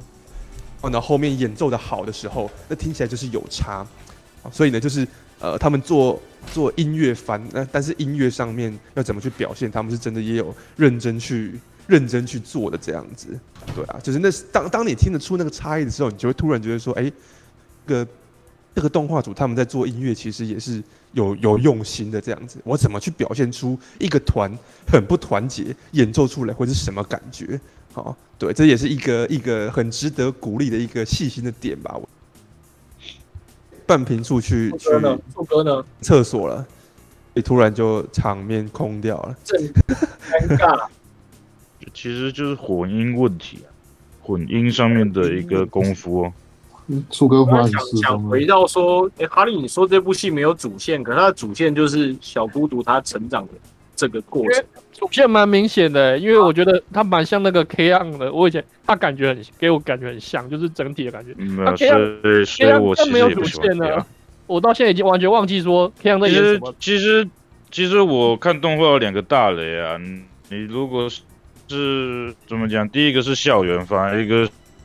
是流场。他明显这部就不是你的戏啦啊！这就是你自己退不到店铺而已啊。好，鸡块哥刚跟我讲，K 样 K 样的主线不就是看一堆高中女生我这样就每天每天吃点心然后就没了。对，我已经完全不记得。对，我就完全不记得 K 样的颜色，我只记得买酱油而已啊。他的主线是买酱油。你说那本子啊？对啊，对啊，买酱油还酱油主线呢？买酱油是紫猫是紫猫本本的故事吧？是不是？我没我有没有搞错啊？是不是？对啊，就遇到亲情撞到弟弟，然后买酱那个。好好，哎，有点久。哎，如果你们要推，懂也是乐团题材的动画，会推哪部啊？K 样啊，因为老实说，我去看了 K 样的第一集，然后它有一点点让我没有想要点开第二集的的欲望。我一开始看都可以啊，K 样就是这种东西，真的吗？那就 那这部就看轻松的啊，就可以心情愉快的啊，对不对？你看高中女生，对不对？而且《黑暗》也是四格漫画啊，所以说我觉得它跟那个什么小孤独很像啊，都是四格漫画改过来的。它就真的更长番的感觉了，是吗？嗯，对对，而且《黑暗》但是还有一个东西，你要看金阿尼的技术。对，其实如果真的话，金阿尼在这方面他们画他那时候比较厉害，都没有看对。唉，想到金阿姨就好难过，真是的。哎，啊，我刚刚去上厕所，你们讲到哪里了？没有，我刚刚在问说，嗯，就是因为我发现好像只要是提到乐团题材的动画，大家都会提 K on 啊。那我看 K on 第一集，怎么觉得好像没有很想看下去的动力？他们就在解释说，其实 K on 看的是这个日常生活，还有可能金阿尼的作画这样子。因为我想要看到的是，例如说像吹响吧上低音号那种，就是。我们我们很不现很明显，我我们就是要搞乐团，就是要把乐团弄好这样子。然后我觉得 K on 一集给我的感觉，好像那个主线没有没有没有这么的收束的这么这么嗯直接，然后好像前进的动力没有这么大。我觉得音乐，我觉得音乐主题的作品最重要的是音乐本身，你是不是很容易就会喜欢它？那老实说，在一开始摇滚的题材反而不是我第一时间会想要的。像你知道我最喜欢的一部这类型的戏剧作品，事实上反而是电影，是那个什么《Swing Girl》摇那个摇摆女孩哦，上野树里演的。对，那那一那一个，因为我自己很喜欢爵士乐，所以我看到一群女高中生喜欢上爵士乐，觉得干好棒啊，你知道吗？这种事情很难发生。我日常生活，因为以前也是常常跟人家说，哦，这个很好听。然后我还记得我朋友跟我讲啊，说你为什么老是听放屁的音乐？然后不不不不不不，然后然后放屁，因为小小号嘛，听小号，然后我很喜欢听那种那个约翰科川啊，或者是查特贝克啊。而而且我特别喜欢听那种 cool jazz，就是那种你可以想象是那种在半夜的小酒馆，然后有一个有一个小号手，然后在那边吹着那种很寂寞的那种小号的那种音乐，然后旁边会有鼓声啊，然后弹钢琴这样子，慢慢的、慢慢的这样子，然后你这时候喝个小、喝喝个小酒啊，然后沉浸在这一种舒服的感觉里面。哦，by the way，日本的爵士乐非常的盛，就是这次去日本到处都是听到爵士乐，但台湾基本上你永远都只会听到流行音乐啊。对，那所以那个时候听到看到那个什么一个日本女高中生，然后喜欢上 Big Bang，然后而且到最后还能够演奏，我妈好喜欢这题材，好喜欢这种这种感觉，你知道？至于摇滚，嗯，哎呀，玩团大家都很潮，每个人那个什么穿着那个帅帅的那个，好像那个什么什么没发生过。不不过我大学的时候的确很多人在玩团啊，啊，因为我高中的时呃，在网络时代还没兴起的年代，哦，那个。其实那个时候要男生要追女生，你知道，就是或者是要展现帅气，弹吉他啊，常常是弹吉他。因为台湾有民歌风潮嘛，从李健富那个年代，一九七零年代、一九八零年代，就是木吉他风潮起来嘛。对，只是到九零年代开始，大家要更潮，然后就可能会有比较有钱的小朋友会去买电吉他来玩啊。我还记得我高中的时候有一个学长，就他房间有电吉他，我们常常去那边看，你知道。对，但是那个电吉他可没有那么容易，他还要接接那个什么暗谱才可以，他要接小喇叭，那要接那个小音箱啊，你知道？孤小孤独就有啊，他去买的时候就人家就已经在跟他推销，我建议你买买吉他一定要再买买一个那个什么音箱什么的，然后他就忍不住要要掏钱了，不是吧？对，就那嗯那个其实是比较花钱的。像之前有一次跟曹大卫这边争执这件事，就是说玩摇滚的人其实上经济实力要有啊。啊，绝对比玩嘻哈的人还要必须还要有经济实力才行啊！对，为什么嘻哈玩口技啊？他的他的门槛是相对比较低一点的。对，但是玩吉他你一定要买一台买买一定要买一支吉他。啊。对，小孤独是站在高点，人人家领导背是吧？非常有钱，好不好？对不对？他爸爸很有钱，对，他宠女非常宠女，所以在一开始就有一支吉他可以用，知道对，那。好，这不准就不管，这是题外话。但是我们在大学的时候，事实上非常多人在玩团。我还记得，尤尤其是我念教会学校，因为那个有乐器啊，所以有人会打鼓啊，啊啊打鼓。事实上，打鼓事实上很多女生喜欢，因为动作很大，你知道吗？他不用，他不，你不用特别的会什么，你看起来好像有在用，然后女生就哦，干这动作好帅啊，这样之类的。对，所以一开始小孤独看到那个什么学，想说那个弹吉他会红会红，其实是有道理的。你知道，的确会红啊，只是，只是那个啥，像他，其实我觉得他也讲出一点，事实上，可是你要真到很厉害，你是需需要经过非常多刻苦训练的，对，也就是说，小孤独是练了三年才他才有这个功力啊，知道？但是呢，练那三年是没那个什么，三年辛苦无人知啊，你知道，真的是没人知道啊，他只差要找一个机会让大家那个什么，让大家看到他很帅，对，也的确啊，到第八集的时候，终于让大家看到他超帅了，对啊，那不过。刚刚不是提到音乐类的东西嘛？就是，所以玩团一开始在我心中深处，事实上这个主题不会不会是我一开始想要想要喜欢的东西。所以小孤独的那个孤独摇滚在一开始也不是我本本季一开始就看的东西，也是有人推了我才去看。对，那呃。但是我觉得这一个孤独摇滚跟 K 样，虽然我 K 样没看啊，但是我觉得我可以用那个偶像大师嘛 的的比方好了。我看偶像大师绝对不会是因为音乐，你知道对我，嗯，对，也绝对不是他的舞蹈，因为老实说，看动画人跳舞蹈，我其实觉得也还好。对，但是但是看的是事实上是那个组织是如何如何成立的，然后这一群女生怎么样互相。结团结在一块之类的，对，然后当然孤独摇滚里面也是有，不过我觉得孤独摇滚做那个什么最最打动我的那个点是，